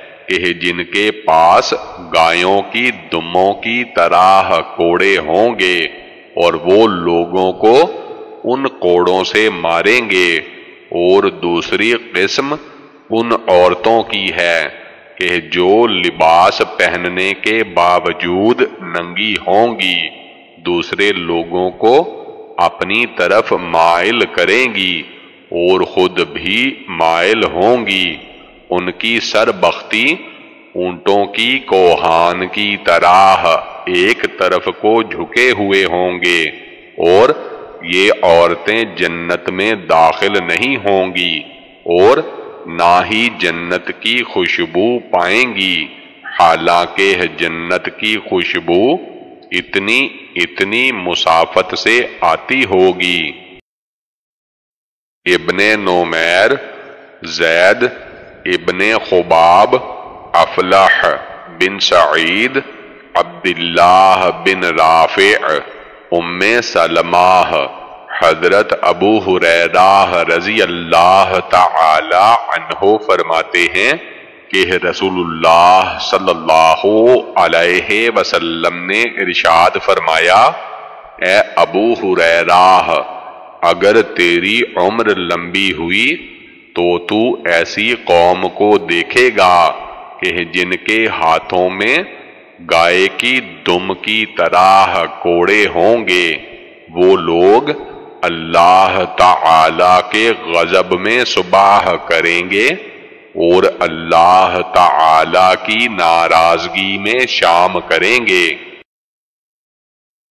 عبید اللہ بن سعید، ابو بکر بن نافع عبد بن حمید ابو عامر عقادی افلح بن سعید عبداللہ بن رافع ام سلمہ حضرت ابو حریرہ رضی اللہ تعالی عنہ فرماتے ہیں کہ میں نے رسول اللہ صلی اللہ علیہ وسلم سے سنا آپ صلی اللہ علیہ وسلم فرماتے ہیں کہ اگر تیری عمر لمبی ہوئی تو تو ایسی قوم کو دیکھے گا کہ جو صبح اللہ تعالی کی ناراضگی میں اور شام اللہ تعالی کی لعنت میں کریں گے، ان کے ہاتھوں میں گائے کی دم کی طرح کوڑے ہوں گے۔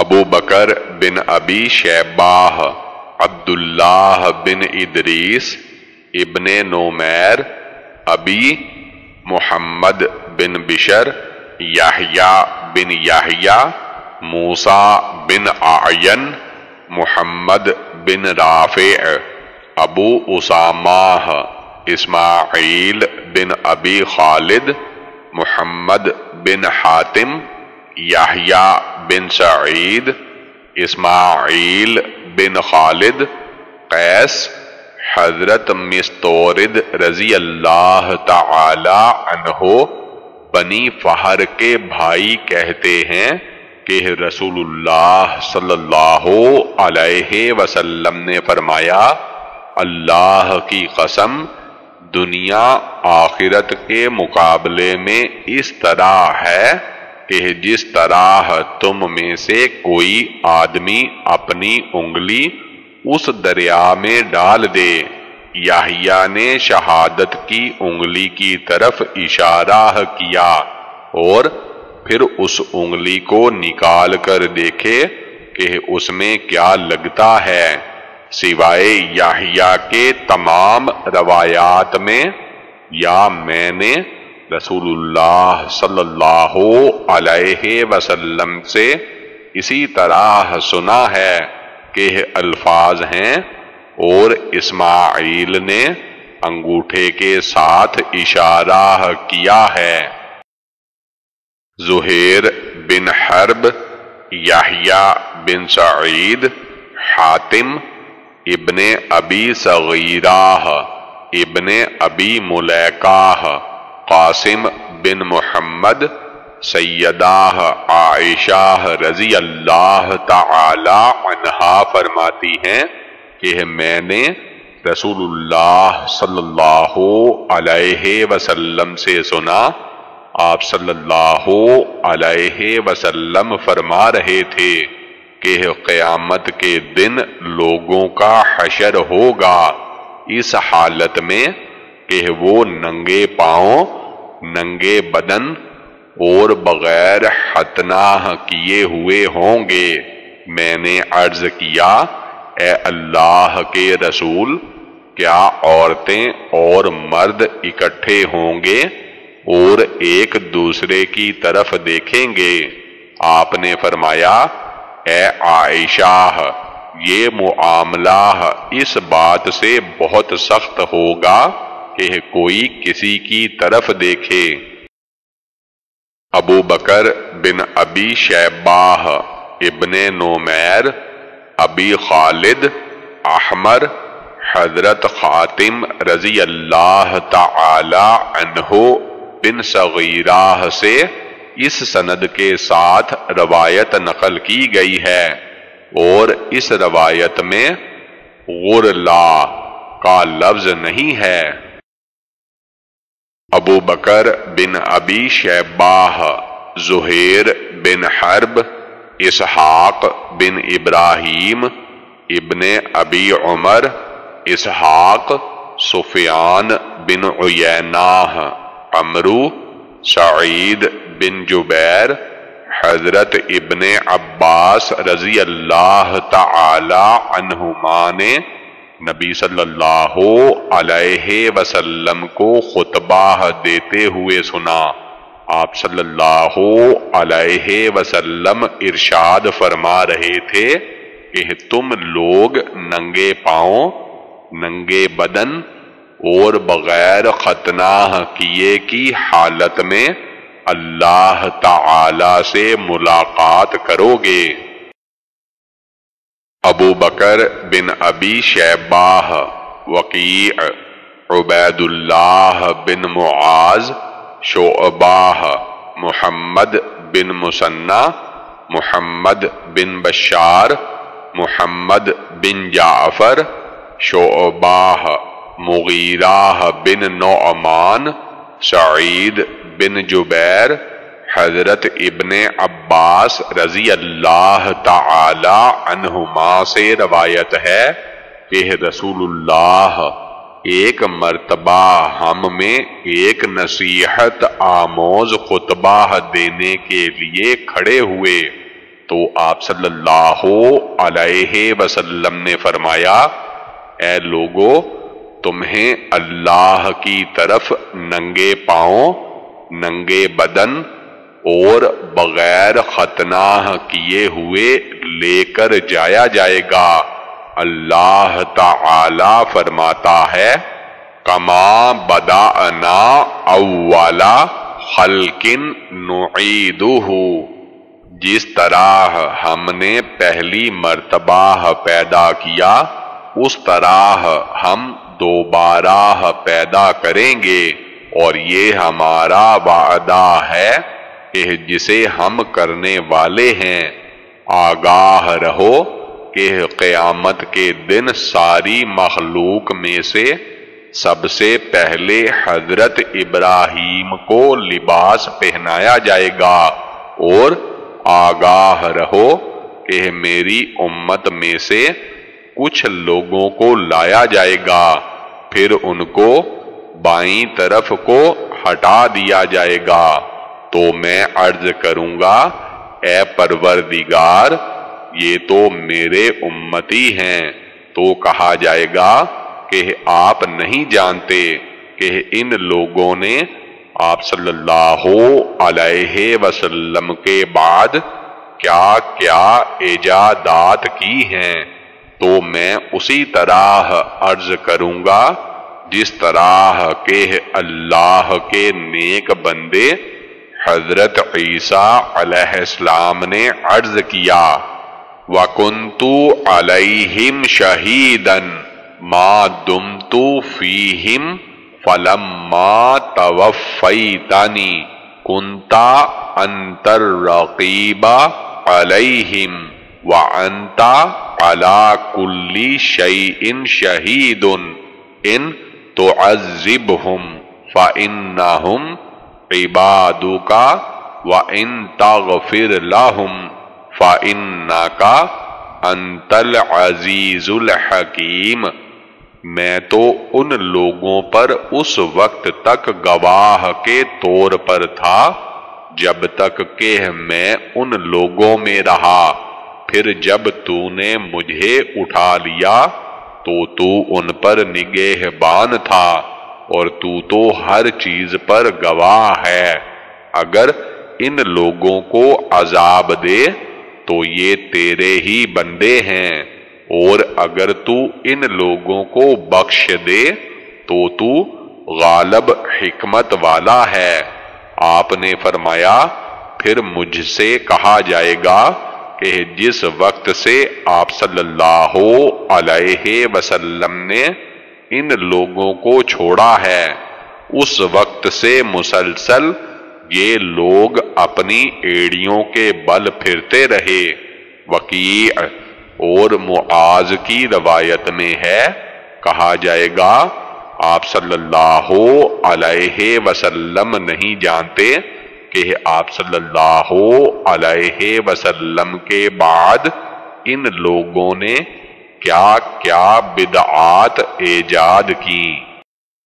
زہیر بن حرب، احمد بن اسحاق، محمد بن حاتم بحز وحیب عبداللہ بن تابوس حضرت ابو حریرہ رضی اللہ تعالی عنہ سے روایت کرتے ہوئے فرماتے ہیں کہ لوگوں کو تین جماعتوں کی صورت میں اکٹھا کیا جائے گا۔ کچھ لوگ خاموش ہوں گے اور کچھ لوگ ڈرے ہوئے ہوں گے اور دو آدمی ایک اونٹ پر ہوں گے اور تین ایک اونٹ پر اور چار ایک اونٹ پر اور دس ایک اونٹ پر ہوں گے۔ اور ان میں باقی لوگوں کو آگ اکٹھا کرے گی۔ جب وہ رات گزارنے کے لیے ٹھہریں گے، تو وہ آگ ان کے ساتھ رہے گی۔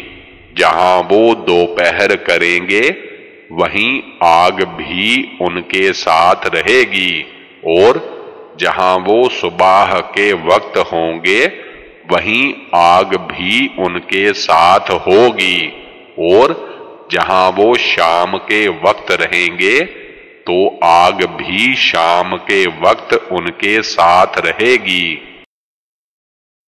زہیر بن حرب، محمد بن مسنہ عبید اللہ بن سعید یحییٰ بن سعید عبید اللہ نافع، حضرت ابن عمر رضی اللہ تعالی عنہ۔ نبی صلی اللہ علیہ وسلم سے روایت کرتے ہیں، جس دن سب لوگ رب العالمین کے سامنے کھڑے ہوں گے، تو ان میں سے کچھ آدمی آدھے کانوں تک پسینے میں ڈوبے ہوئے ہوں گے۔ اور ابن مسنہ کی روایت میں، یقوم الناسو کے الفاظ ہیں اور یوم کا لفظ ذکر نہیں کیا۔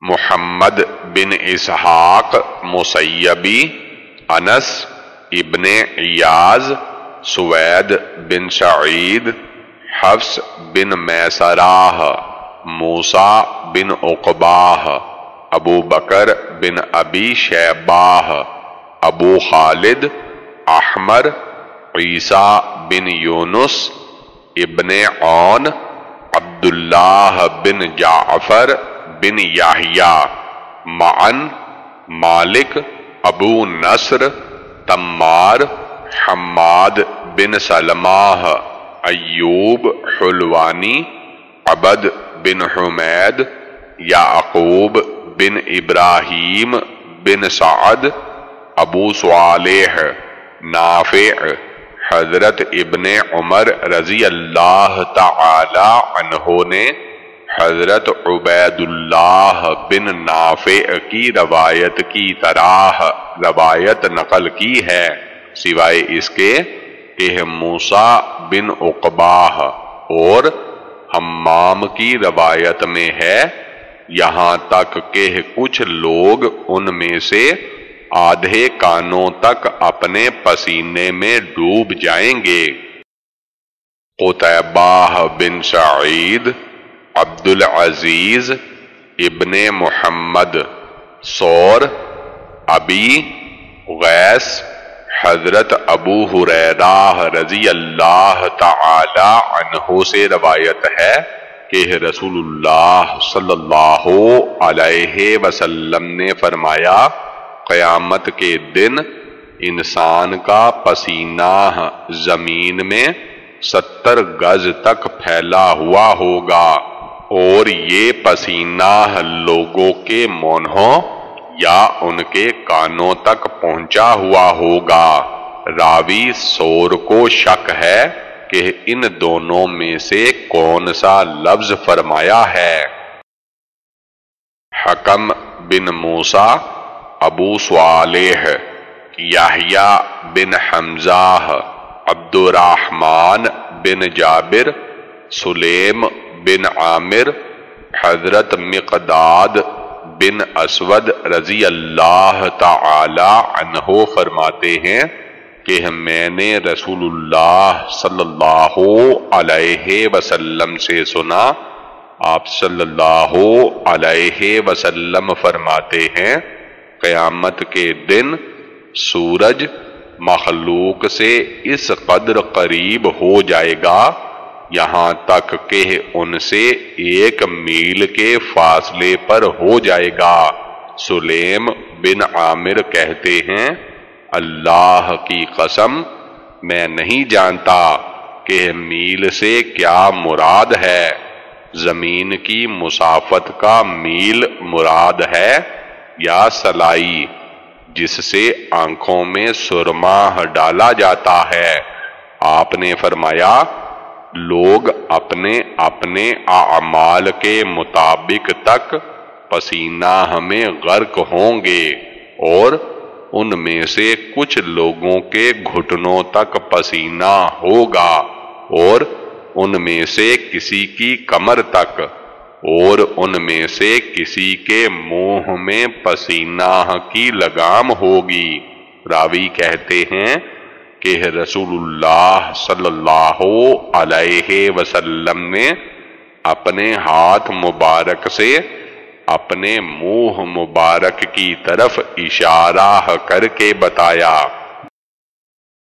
ابو غسان مسماعی محمد بن مسنہ محمد بن بشار بن عثمان، ابی غسان، ابن مسنہ، معاذ بن ہشام، ابو قطادہ مترف بن عبداللہ بن شخیر، حضرت عیاض بن حمار مجاشعی سے روایت ہے کہ رسول اللہ صلی اللہ علیہ وسلم نے ایک دن اپنے خطبہ میں ارشاد فرمایا، سنو، میرے رب نے مجھے یہ حکم فرمایا ہے کہ میں تم لوگوں کو وہ باتیں سکھا دوں کہ جن باتوں سے تم لا علم ہو۔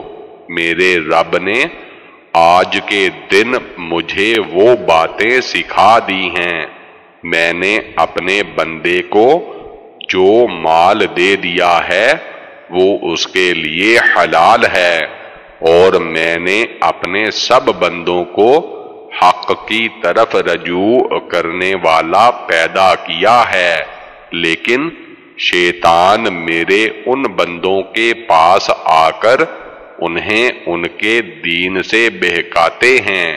اور میں نے اپنے بندوں کے لیے جن چیزوں کو حلال کیا ہے، وہ ان کے لیے حرام قرار دیتے ہیں، اور وہ ان کو ایسی چیزوں کو میرے ساتھ شریک کرنے کا حکم دیتے ہیں کہ جس کی کوئی محبت میں نے نازل نہیں کی، اور بے شک اللہ تعالی نے زمین والوں کی طرف نظر فرمائی، اور عرب و عجم سے نفرت فرمائی، سوائے اہل کتاب میں سے کچھ باقی لوگوں کے۔ اور اللہ تعالی نے فرمایا، میں نے تمہیں اس لیے بھیجا ہے تاکہ میں تم کو آزماؤں، اور ان کو بھی آزماؤں کہ جن کے پاس آپ صلی اللہ علیہ وسلم کو بھیجا ہے۔ اور میں نے آپ صلی اللہ علیہ وسلم پر ایک ایسی کتاب نازل کی ہے کہ جسے پانی نہیں دھو سکے گا اور تم اس کتاب کو سونے اور بیداری کی حالت میں بھی پڑھو گے اور بلا شبہ اللہ نے مجھے حکم فرمایا ہے کہ میں قریش کو جلا ڈالوں۔ تو میں نے عرض کیا، اے پروردگار، وہ لوگ تو میرا سر پھاڑ ڈالیں گے۔ اللہ نے فرمایا، تم ان کو نکال دینا۔ جس طرح کہ انہوں نے آپ صلی اللہ علیہ وسلم کو نکالا ہے۔ اور آپ صلی اللہ علیہ وسلم پر بھی خرشاہ کیا جائے گا۔ آپ صلی اللہ علیہ وسلم لشکر روانہ فرمائیں، میں اس کے پانچ گنا لشکر بھیجوں گا۔ اور آپ صلی اللہ علیہ وسلم اپنے تابع داروں کو لے کر ان سے لڑیں کہ جو آپ صلی اللہ علیہ وسلم کے نافرمان ہیں۔ آپ صلی اللہ علیہ وسلم نے فرمایا، جنتی لوگ تین قسم کے ہیں۔ ایک، حکومت کے ساتھ انصاف کرنے والے، صدقہ ہو خیرات کرنے والے، توفیق عطا کیے ہوئے۔ دو، وہ آدمی کہ جو اپنے تمام رشتہ داروں اور مسلمانوں کے لیے نرم دل ہو۔ تین، وہ آدمی کہ جو پاک دامن، پاکیزہ خلق والا ہو اور عیال دار بھی ہو، لیکن کسی کے سامنے اپنا ہاتھ نہ پھیلاتا ہو۔ آپ نے فرمایا دو زخی پانچ طرح کے ہیں۔ ایک وہ کمزور آدمی کہ جس کے پاس مال نہ ہو اور دوسروں کا تابع ہو، اہل و مال کا طلبگار نہ ہو۔ دو، خیانت کرنے والا آدمی کہ جس کی حرص چھپی نہیں رہ سکتی، اگرچہ اسے تھوڑی سی چیز ملے اور اس میں بھی خیانت کرے۔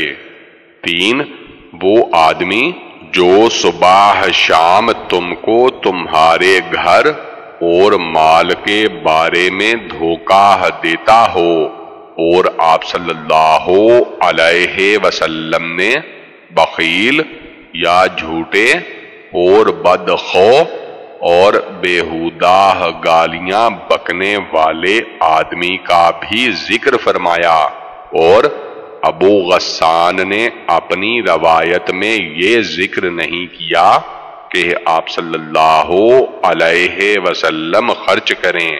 آپ صلی اللہ علیہ وسلم پر بھی خرچ کیا جائے گا۔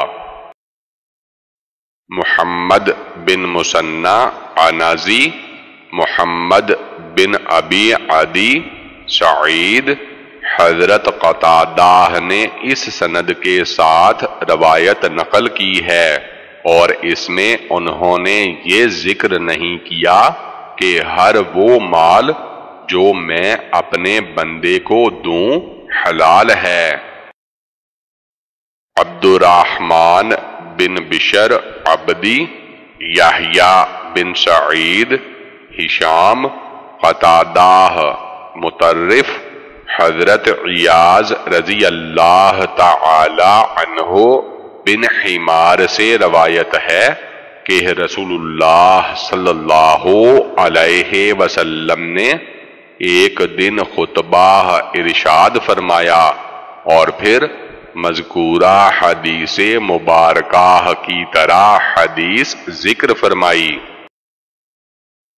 ابو عمار حسین بن حریس فضل بن موسا حسین مترف قطادہ مترف بن عبداللہ بن شخیر حضرت عیاض بن حمار رضی اللہ تعالی عنہ، بنی مجاشع کے بھائی سے روایت ہے کہ رسول اللہ ایک دن ہمیں خطبہ دینے کے لیے کھڑے ہوئے تو آپ صلی اللہ علیہ وسلم نے فرمایا، اللہ تعالی نے مجھے حکم فرمایا ہے۔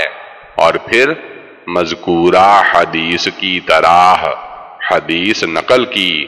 اور اسی حدیث میں یہ الفاظ زائد ہیں کہ اللہ تعالی نے میری طرف وحی فرمائی کہ تم لوگ آجزی اختیار کرو، یہاں تک کہ کوئی کسی پر فخر نہ کرے اور نہ ہی کوئی کسی پر زیادتی کرے۔ اور اسی روایت میں ہے کہ وہ لوگ تم میں متیع تابع دار ہیں، کہ وہ نہ گھر والوں کو چاہتے ہیں اور نہ ہی مال کو میں نے کہا، اے ابو عبداللہ، کیا یہ اسی طرح ہوگا؟ انہوں نے کہا ہاں اللہ کی قسم، میں نے جاہلیت کے زمانے میں اسی طرح دیکھ لیا ہے۔ اور یہ، کہ ایک آدمی کسی قبیلے کی بکریاں چراتا اور وہاں سے اسے گھر والوں کی لونڈی کے علاوہ اور کوئی نہ ملتا، تو وہ اسی سے ہم بستری کرتا۔ یاہیا بن یاہیا مالک نافع، حضرت ابن عمر رضی اللہ تعالی عنہ سے روایت ہے کہ رسول اللہ صلی اللہ علیہ وسلم نے فرمایا جب تم میں سے کوئی آدمی مر جاتا ہے تو صبح و شام اس کا ٹھکانہ اس پر پیش کیا جاتا ہے۔ اگر وہ جنت والوں میں سے ہے تو جنت والوں کا مقام اور اگر وہ دوزخ والوں میں سے ہوتا ہے تو دوزخ والوں کا مقام اسے دکھایا جاتا ہے اور اس سے کہا جاتا ہے کہ یہ تیرا ٹھکانہ ہے جب تک کہ اللہ تعالی قیامت کے دن تجھے اٹھا کر اس جگہ نہ پہنچا دے۔ عبد بن حمید عبد الرزاق معمر، زہری، سالم حضرت ابن عمر رضی اللہ تعالی عنہ سے روایت ہے کہ نبی صلی اللہ علیہ وسلم نے فرمایا، جب کوئی آدمی مر جاتا ہے تو صبح شام اس کا ٹھکانہ اس پر پیش کیا جاتا ہے۔ اگر وہ جنت والوں میں سے ہوتا ہے تو جنت اور اگر وہ دوزخ والوں میں سے ہوتا ہے، تو دوزخ والوں کا مقام اسے دکھا دیا جاتا ہے اور اس سے کہا جاتا ہے کہ یہ تیرا ٹھکانہ ہے، جہاں قیامت کے دن تجھے اٹھا کر پہنچا دیا جائے گا۔ یحییٰ بن ایوب، ابو بکر بن ابی شیباہ۔ یحییٰ بن ایوب ابن علیہ سعید، جریر، ابی نظراہ حضرت ابو سعید رضی اللہ تعالی عنہ فرماتے ہیں کہ میں نے یہ حدیث نبی صلی اللہ علیہ وسلم سے نہیں سنی ہے، بلکہ یہ حدیث میں نے حضرت زید بن ثابت رضی اللہ تعالی عنہ سے سنی ہے۔ وہ فرماتے ہیں کہ نبی صلی اللہ علیہ وسلم اپنی سواری پر سوار ہو کر بنو نجار کے باغ میں جا رہے تھے اور ہم بھی آپ صلی اللہ علیہ وسلم کے ساتھ تھے کہ اچانک وہ گدھا بدک گیا۔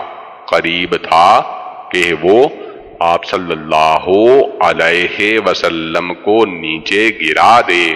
وہاں اس جگہ دیکھا کہ چھ یا پانچ یا چار قبریں ہیں۔ آپ صلی اللہ علیہ وسلم نے فرمایا، کیا کوئی ان قبر والوں کو پہچانتا ہے؟ تو ایک آدمی نے عرض کیا، میں ان قبر والوں کو جانتا ہوں۔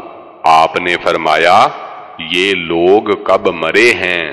اس آدمی نے عرض کیا، یہ لوگ شرک کی حالت میں مرے ہیں۔ آپ صلی اللہ علیہ وسلم نے فرمایا، اس جماعت کو ان قبروں میں عذاب ہو رہا ہے۔ کاش کہ اگر مجھے یہ خیال نہ ہوتا کہ تم لوگ اپنے مردوں کو دفن کرنا چھوڑ دو گے تو میں اللہ تعالی سے دعا کرتا کہ وہ تمہیں بھی قبر کا عذاب سنا دے، جسے میں سن رہا ہوں۔ پھر آپ صلی اللہ علیہ وسلم ہماری طرف متوجہ ہوئے۔ اور فرمایا، تم لوگ دوزخ کے عذاب سے اللہ کی پناہ مانگو۔ صحابہ کرام نے عرض کیا، ہم دوزخ کے عذاب سے اللہ کی پناہ مانگتے ہیں۔ پھر آپ صلی اللہ علیہ وسلم نے فرمایا، تم قبر کے عذاب سے اللہ کی پناہ مانگو۔ صحابہ کرام نے عرض کیا، ہم قبر کے عذاب سے اللہ کی پناہ مانگتے ہیں۔ آپ نے فرمایا، تم ہر قسم کے ظاہری اور باطنی فتنوں سے اللہ کی پناہ مانگو۔ صحابہ کرام نے عرض کیا، ہم ہر قسم کے ظاہری اور باطنی فتنوں سے اللہ تعالی کی پناہ مانگتے ہیں۔ آپ نے فرمایا، تم دجال کے فتنہ سے اللہ کی پناہ مانگو۔ صحابہ کرام نے عرض کیا، ہم دجال کے فتنہ سے اللہ تعالی کی پناہ مانگتے ہیں۔ محمد بن مسنہ ابن بشار، محمد بن جعفر، شعباہ قطادہ حضرت انس رضی اللہ تعالی عنہ سے روایت ہے۔ کہ نبی صلی اللہ علیہ وسلم نے فرمایا، اگر مجھے اس بات کا خیال نہ ہوتا کہ تم لوگ اپنے مردوں کو دفن کرنا چھوڑ دو گے تو میں اللہ تعالی سے دعا کرتا کہ وہ تمہیں قبر کا عذاب سنا دے۔ ابو بکر بن ابی شیباہ، وکیع عبید اللہ بن معاذ، ابی محمد بن مسنہ، ابن بشار، محمد بن جعفر، شعباہ اون بن ابی جوحیفاہ زہیر بن حرب، محمد بن مسنہ، ابن بشار یحییٰ قطان، زہیر یحییٰ برا حضرت ابو ایوب سے روایت ہے کہ رسول اللہ صلی اللہ علیہ وسلم سورج غروب ہو جانے کے بعد باہر نکلے۔ تو آپ صلی اللہ علیہ وسلم نے کچھ آواز سنی تو آپ نے فرمایا، یہودیوں کو ان کی قبروں میں عذاب ہو رہا ہے۔ عبد بن حمید، یونس بن محمد بن شیبان عبد الرحمن قطادہ حضرت انس بن مالک رضی اللہ تعالی عنہ فرماتے ہیں کہ اللہ کے نبی صلی اللہ علیہ وسلم نے فرمایا، جب کسی بندے کو قبر میں رکھ دیا جاتا ہے، تو اس کے ساتھی اس سے منہ پھیر کر واپس چلے جاتے ہیں، تو وہ مرداہ ان کی جوتیوں کی آواز سنتا ہے۔ آپ نے فرمایا، اس مردے کے پاس دو فرشتے آتے ہیں۔ وہ اس مردے کو بٹھا کر کہتے ہیں کہ تو اس آدمی یعنی رسول اللہ صلی اللہ علیہ وسلم کے بارے میں کیا کہتا ہے۔ اگر وہ مومن ہو تو کہتا ہے کہ میں گواہی دیتا ہوں کہ یہ اللہ کے بندے اور اس کے رسول ہیں۔ تو پھر اس سے کہا جاتا ہے کہ اپنے دوزخ والے ٹھکانے کو دیکھ۔ اس کے بدلے میں اللہ نے تجھے جنت میں ٹھکانہ دیا ہے۔ اللہ کے نبی صلی اللہ علیہ وسلم نے فرمایا وہ مرداہ دونوں ٹھکانوں کو دیکھتا ہے۔ حضرت قطادہ رضی اللہ تعالی عنہ کہتے ہیں کہ ہم سے یہ بات کر دی گئی کہ اس مومن کی قبر میں ستر ہاتھ کشادگی کر دی جاتی ہے اور قیامت کے دن تک کے لیے اس کی قبر کو راحت و آرام سے بھر دیا جاتا ہے۔ محمد بن منحال زریر، یزید بن زریع، سعید بن ابی عروباہ قطادہ حضرت انس بن مالک رضی اللہ تعالی عنہ روایت ہے۔ کہ رسول اللہ صلی اللہ علیہ وسلم نے فرمایا، میت کو جب اس کی قبر میں رکھ دیا جاتا ہے، جب واپس جاتے ہیں، تو یہ مردہ ان کی جوتیوں کی آواز سنتا ہے۔ عمر بن زراراہ عبد الوہاب ابن عطا، سعید قطادہ حضرت انس بن مالک رضی اللہ تعالی عنہ سے روایت ہے کہ اللہ کے نبی صلی اللہ علیہ وسلم نے فرمایا، جب بندے کو اس کی اپنی قبر میں رکھ دیا جاتا ہے اور اس کے ساتھی اس سے منہ پھیر کر واپس ہوتے ہیں، پھر شیبان ان قطادہ کی حدیث کی طرح حدیث ذکر کی۔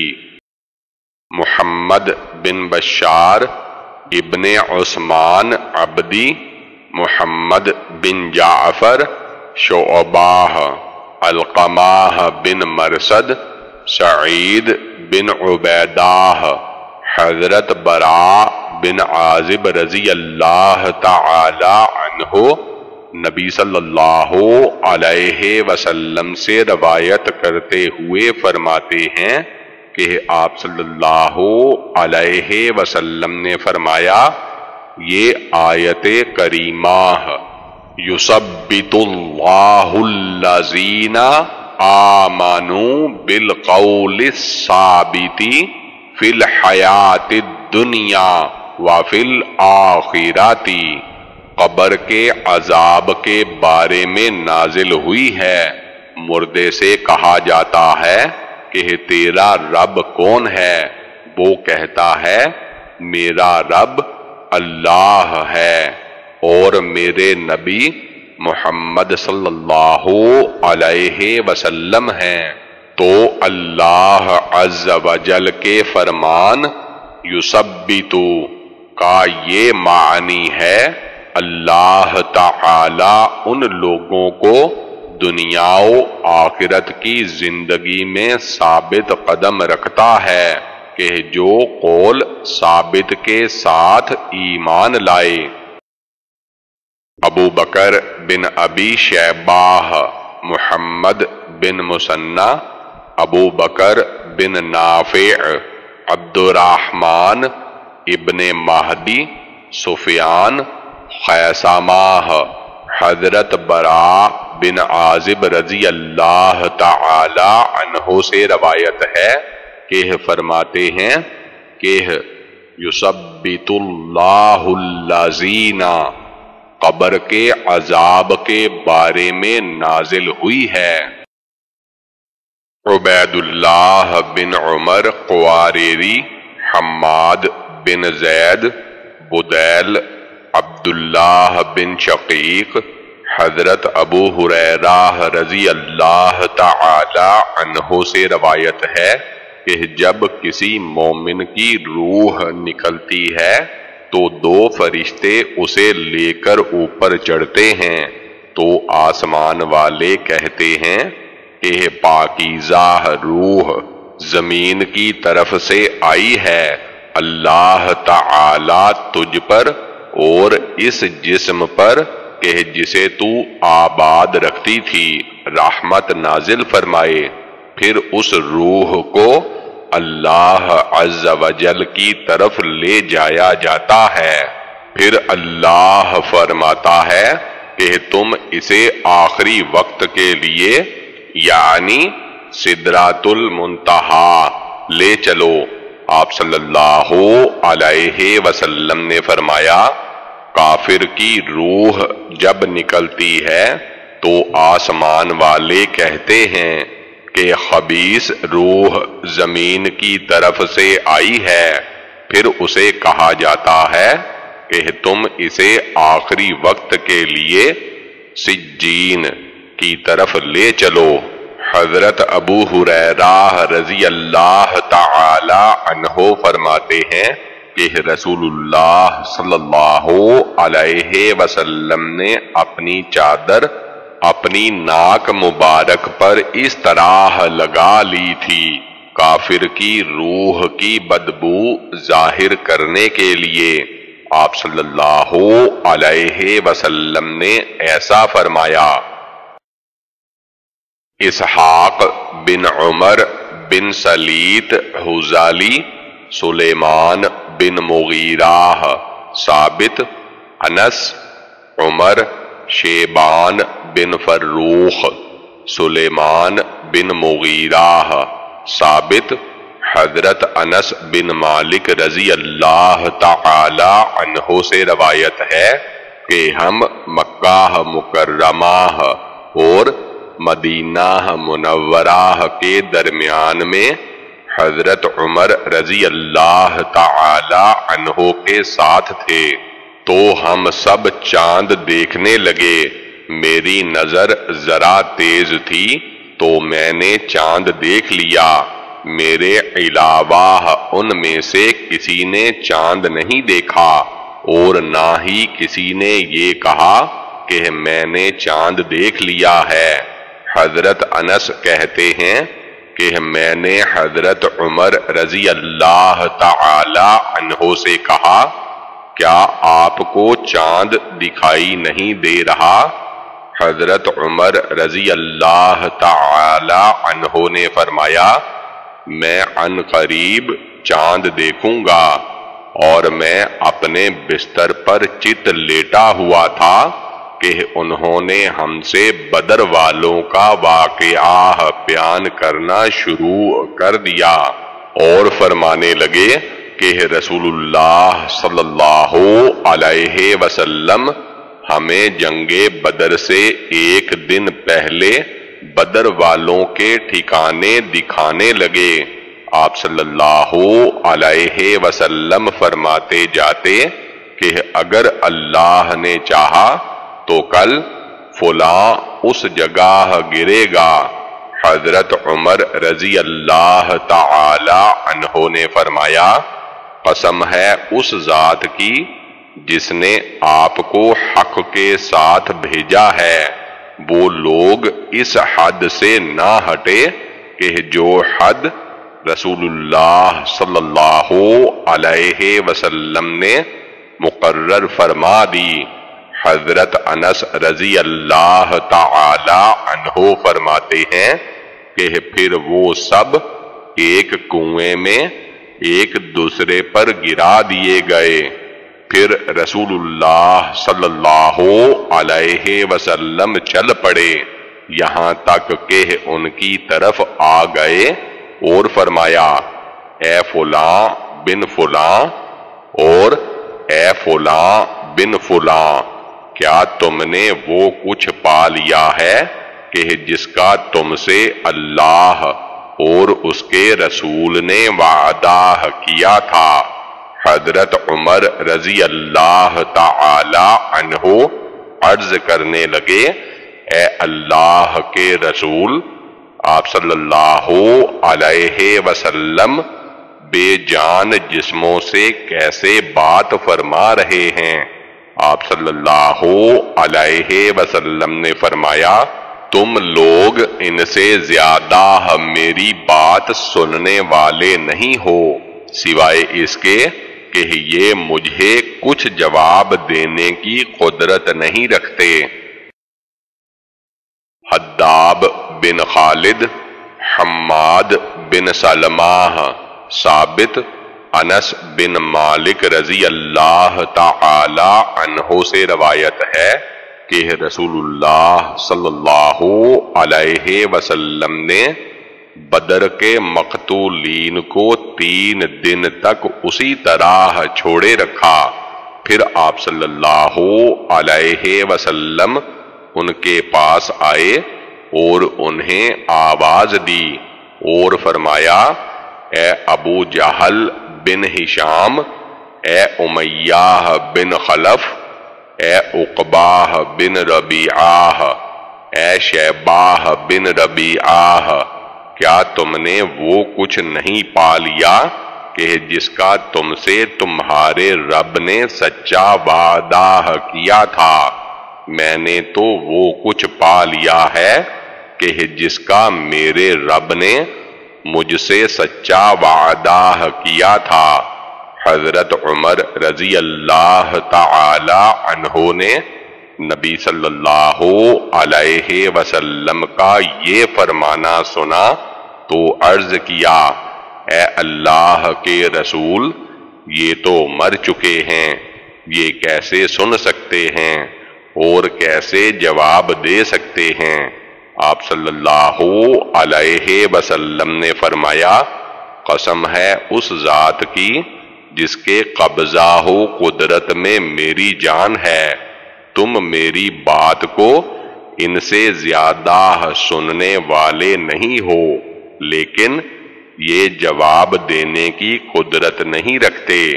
پھر آپ صلی اللہ علیہ وسلم نے حکم فرمایا کہ انہیں گسیٹ کر بدر کے کنویں میں ڈال دو، تو انہیں ڈال دیا گیا۔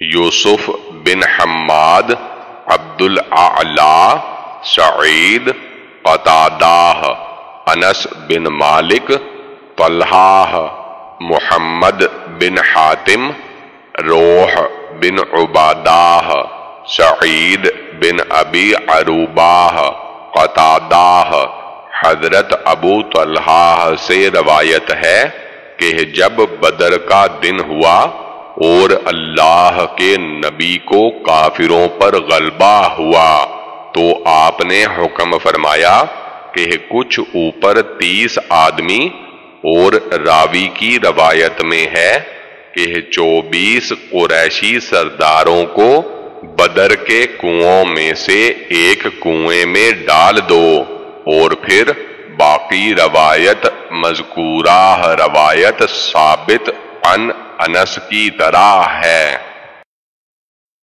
ابو بکر بن ابی شیباہ علی بن حجر، اسماعیل، ابو بکر بن علیاہ ایوب عبداللہ بن ابی ملیکہ رضی اللہ تعالی عنہ سیدہ عائشہ رضی اللہ تعالی عنہا سے روایت ہے کہ رسول اللہ صلی اللہ علیہ وسلم نے فرمایا، قیامت کے دن جس آدمی کا حساب ہو گیا، وہ عذاب میں ڈال دیا گیا۔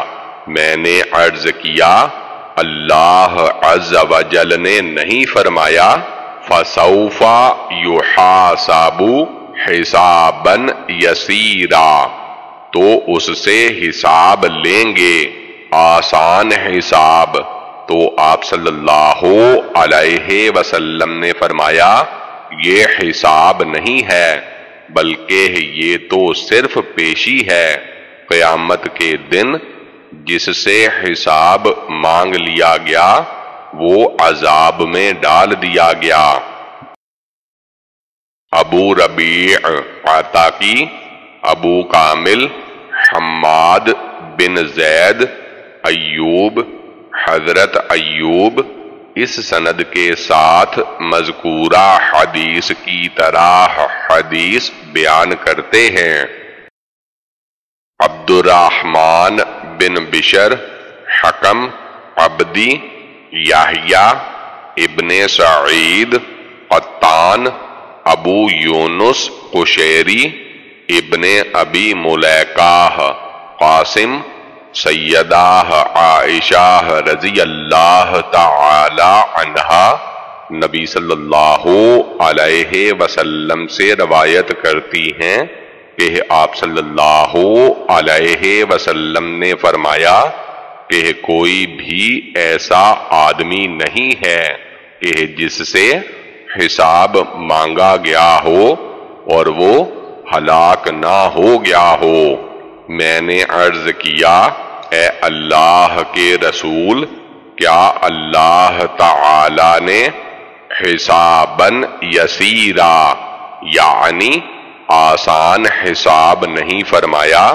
آپ صلی اللہ علیہ وسلم نے فرمایا، یہ تو پیشی ہے، لیکن جس سے حساب مانگ لیا گیا، وہ ہلاک ہو گیا۔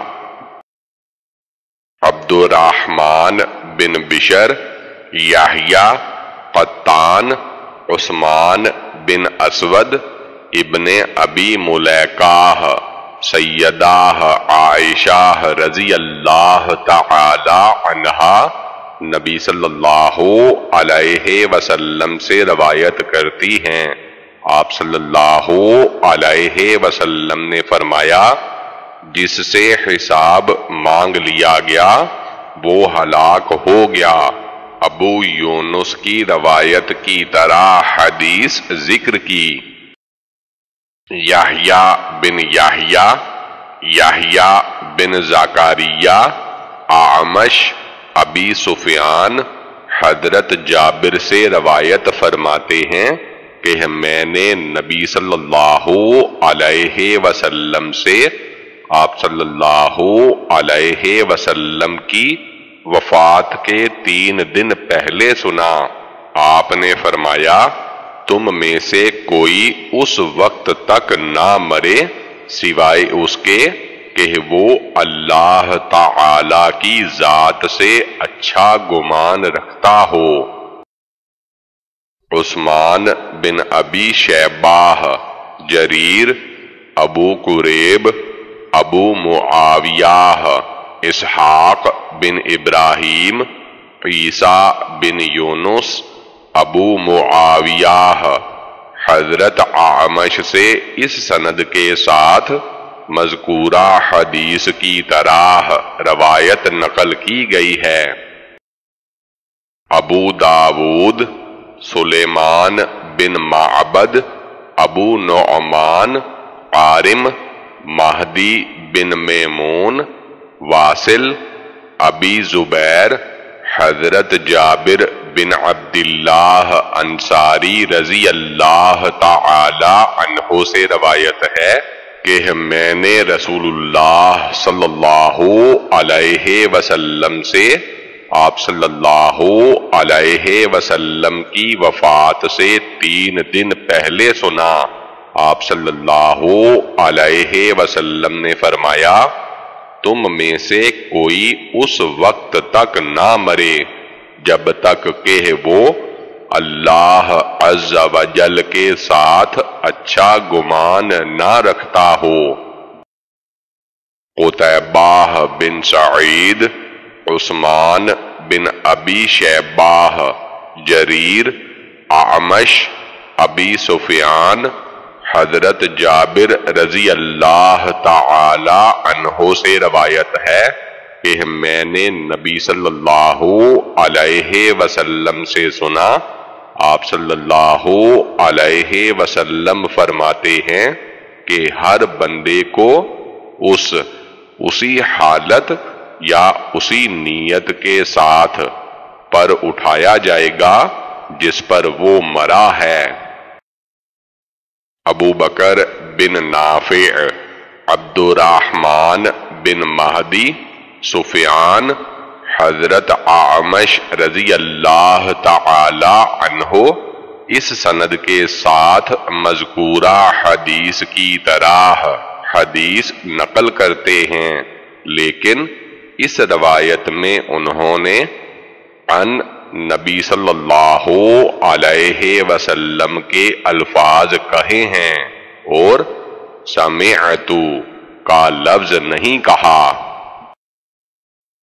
حرملہ بن یاہیا ابن وحب یونس ابن شہاب حمزہ حضرت ابن عمر رضی اللہ تعالی عنہ فرماتے ہیں کہ میں نے رسول اللہ صلی اللہ علیہ وسلم سے سنا، آپ صلی اللہ علیہ وسلم نے ارشاد فرمایا کہ جب اللہ تعالی کسی قوم کو عذاب دینا چاہتا ہے، تو جو لوگ اس قوم میں ہوتے ہیں، ان سب پر عذاب ہوتا ہے۔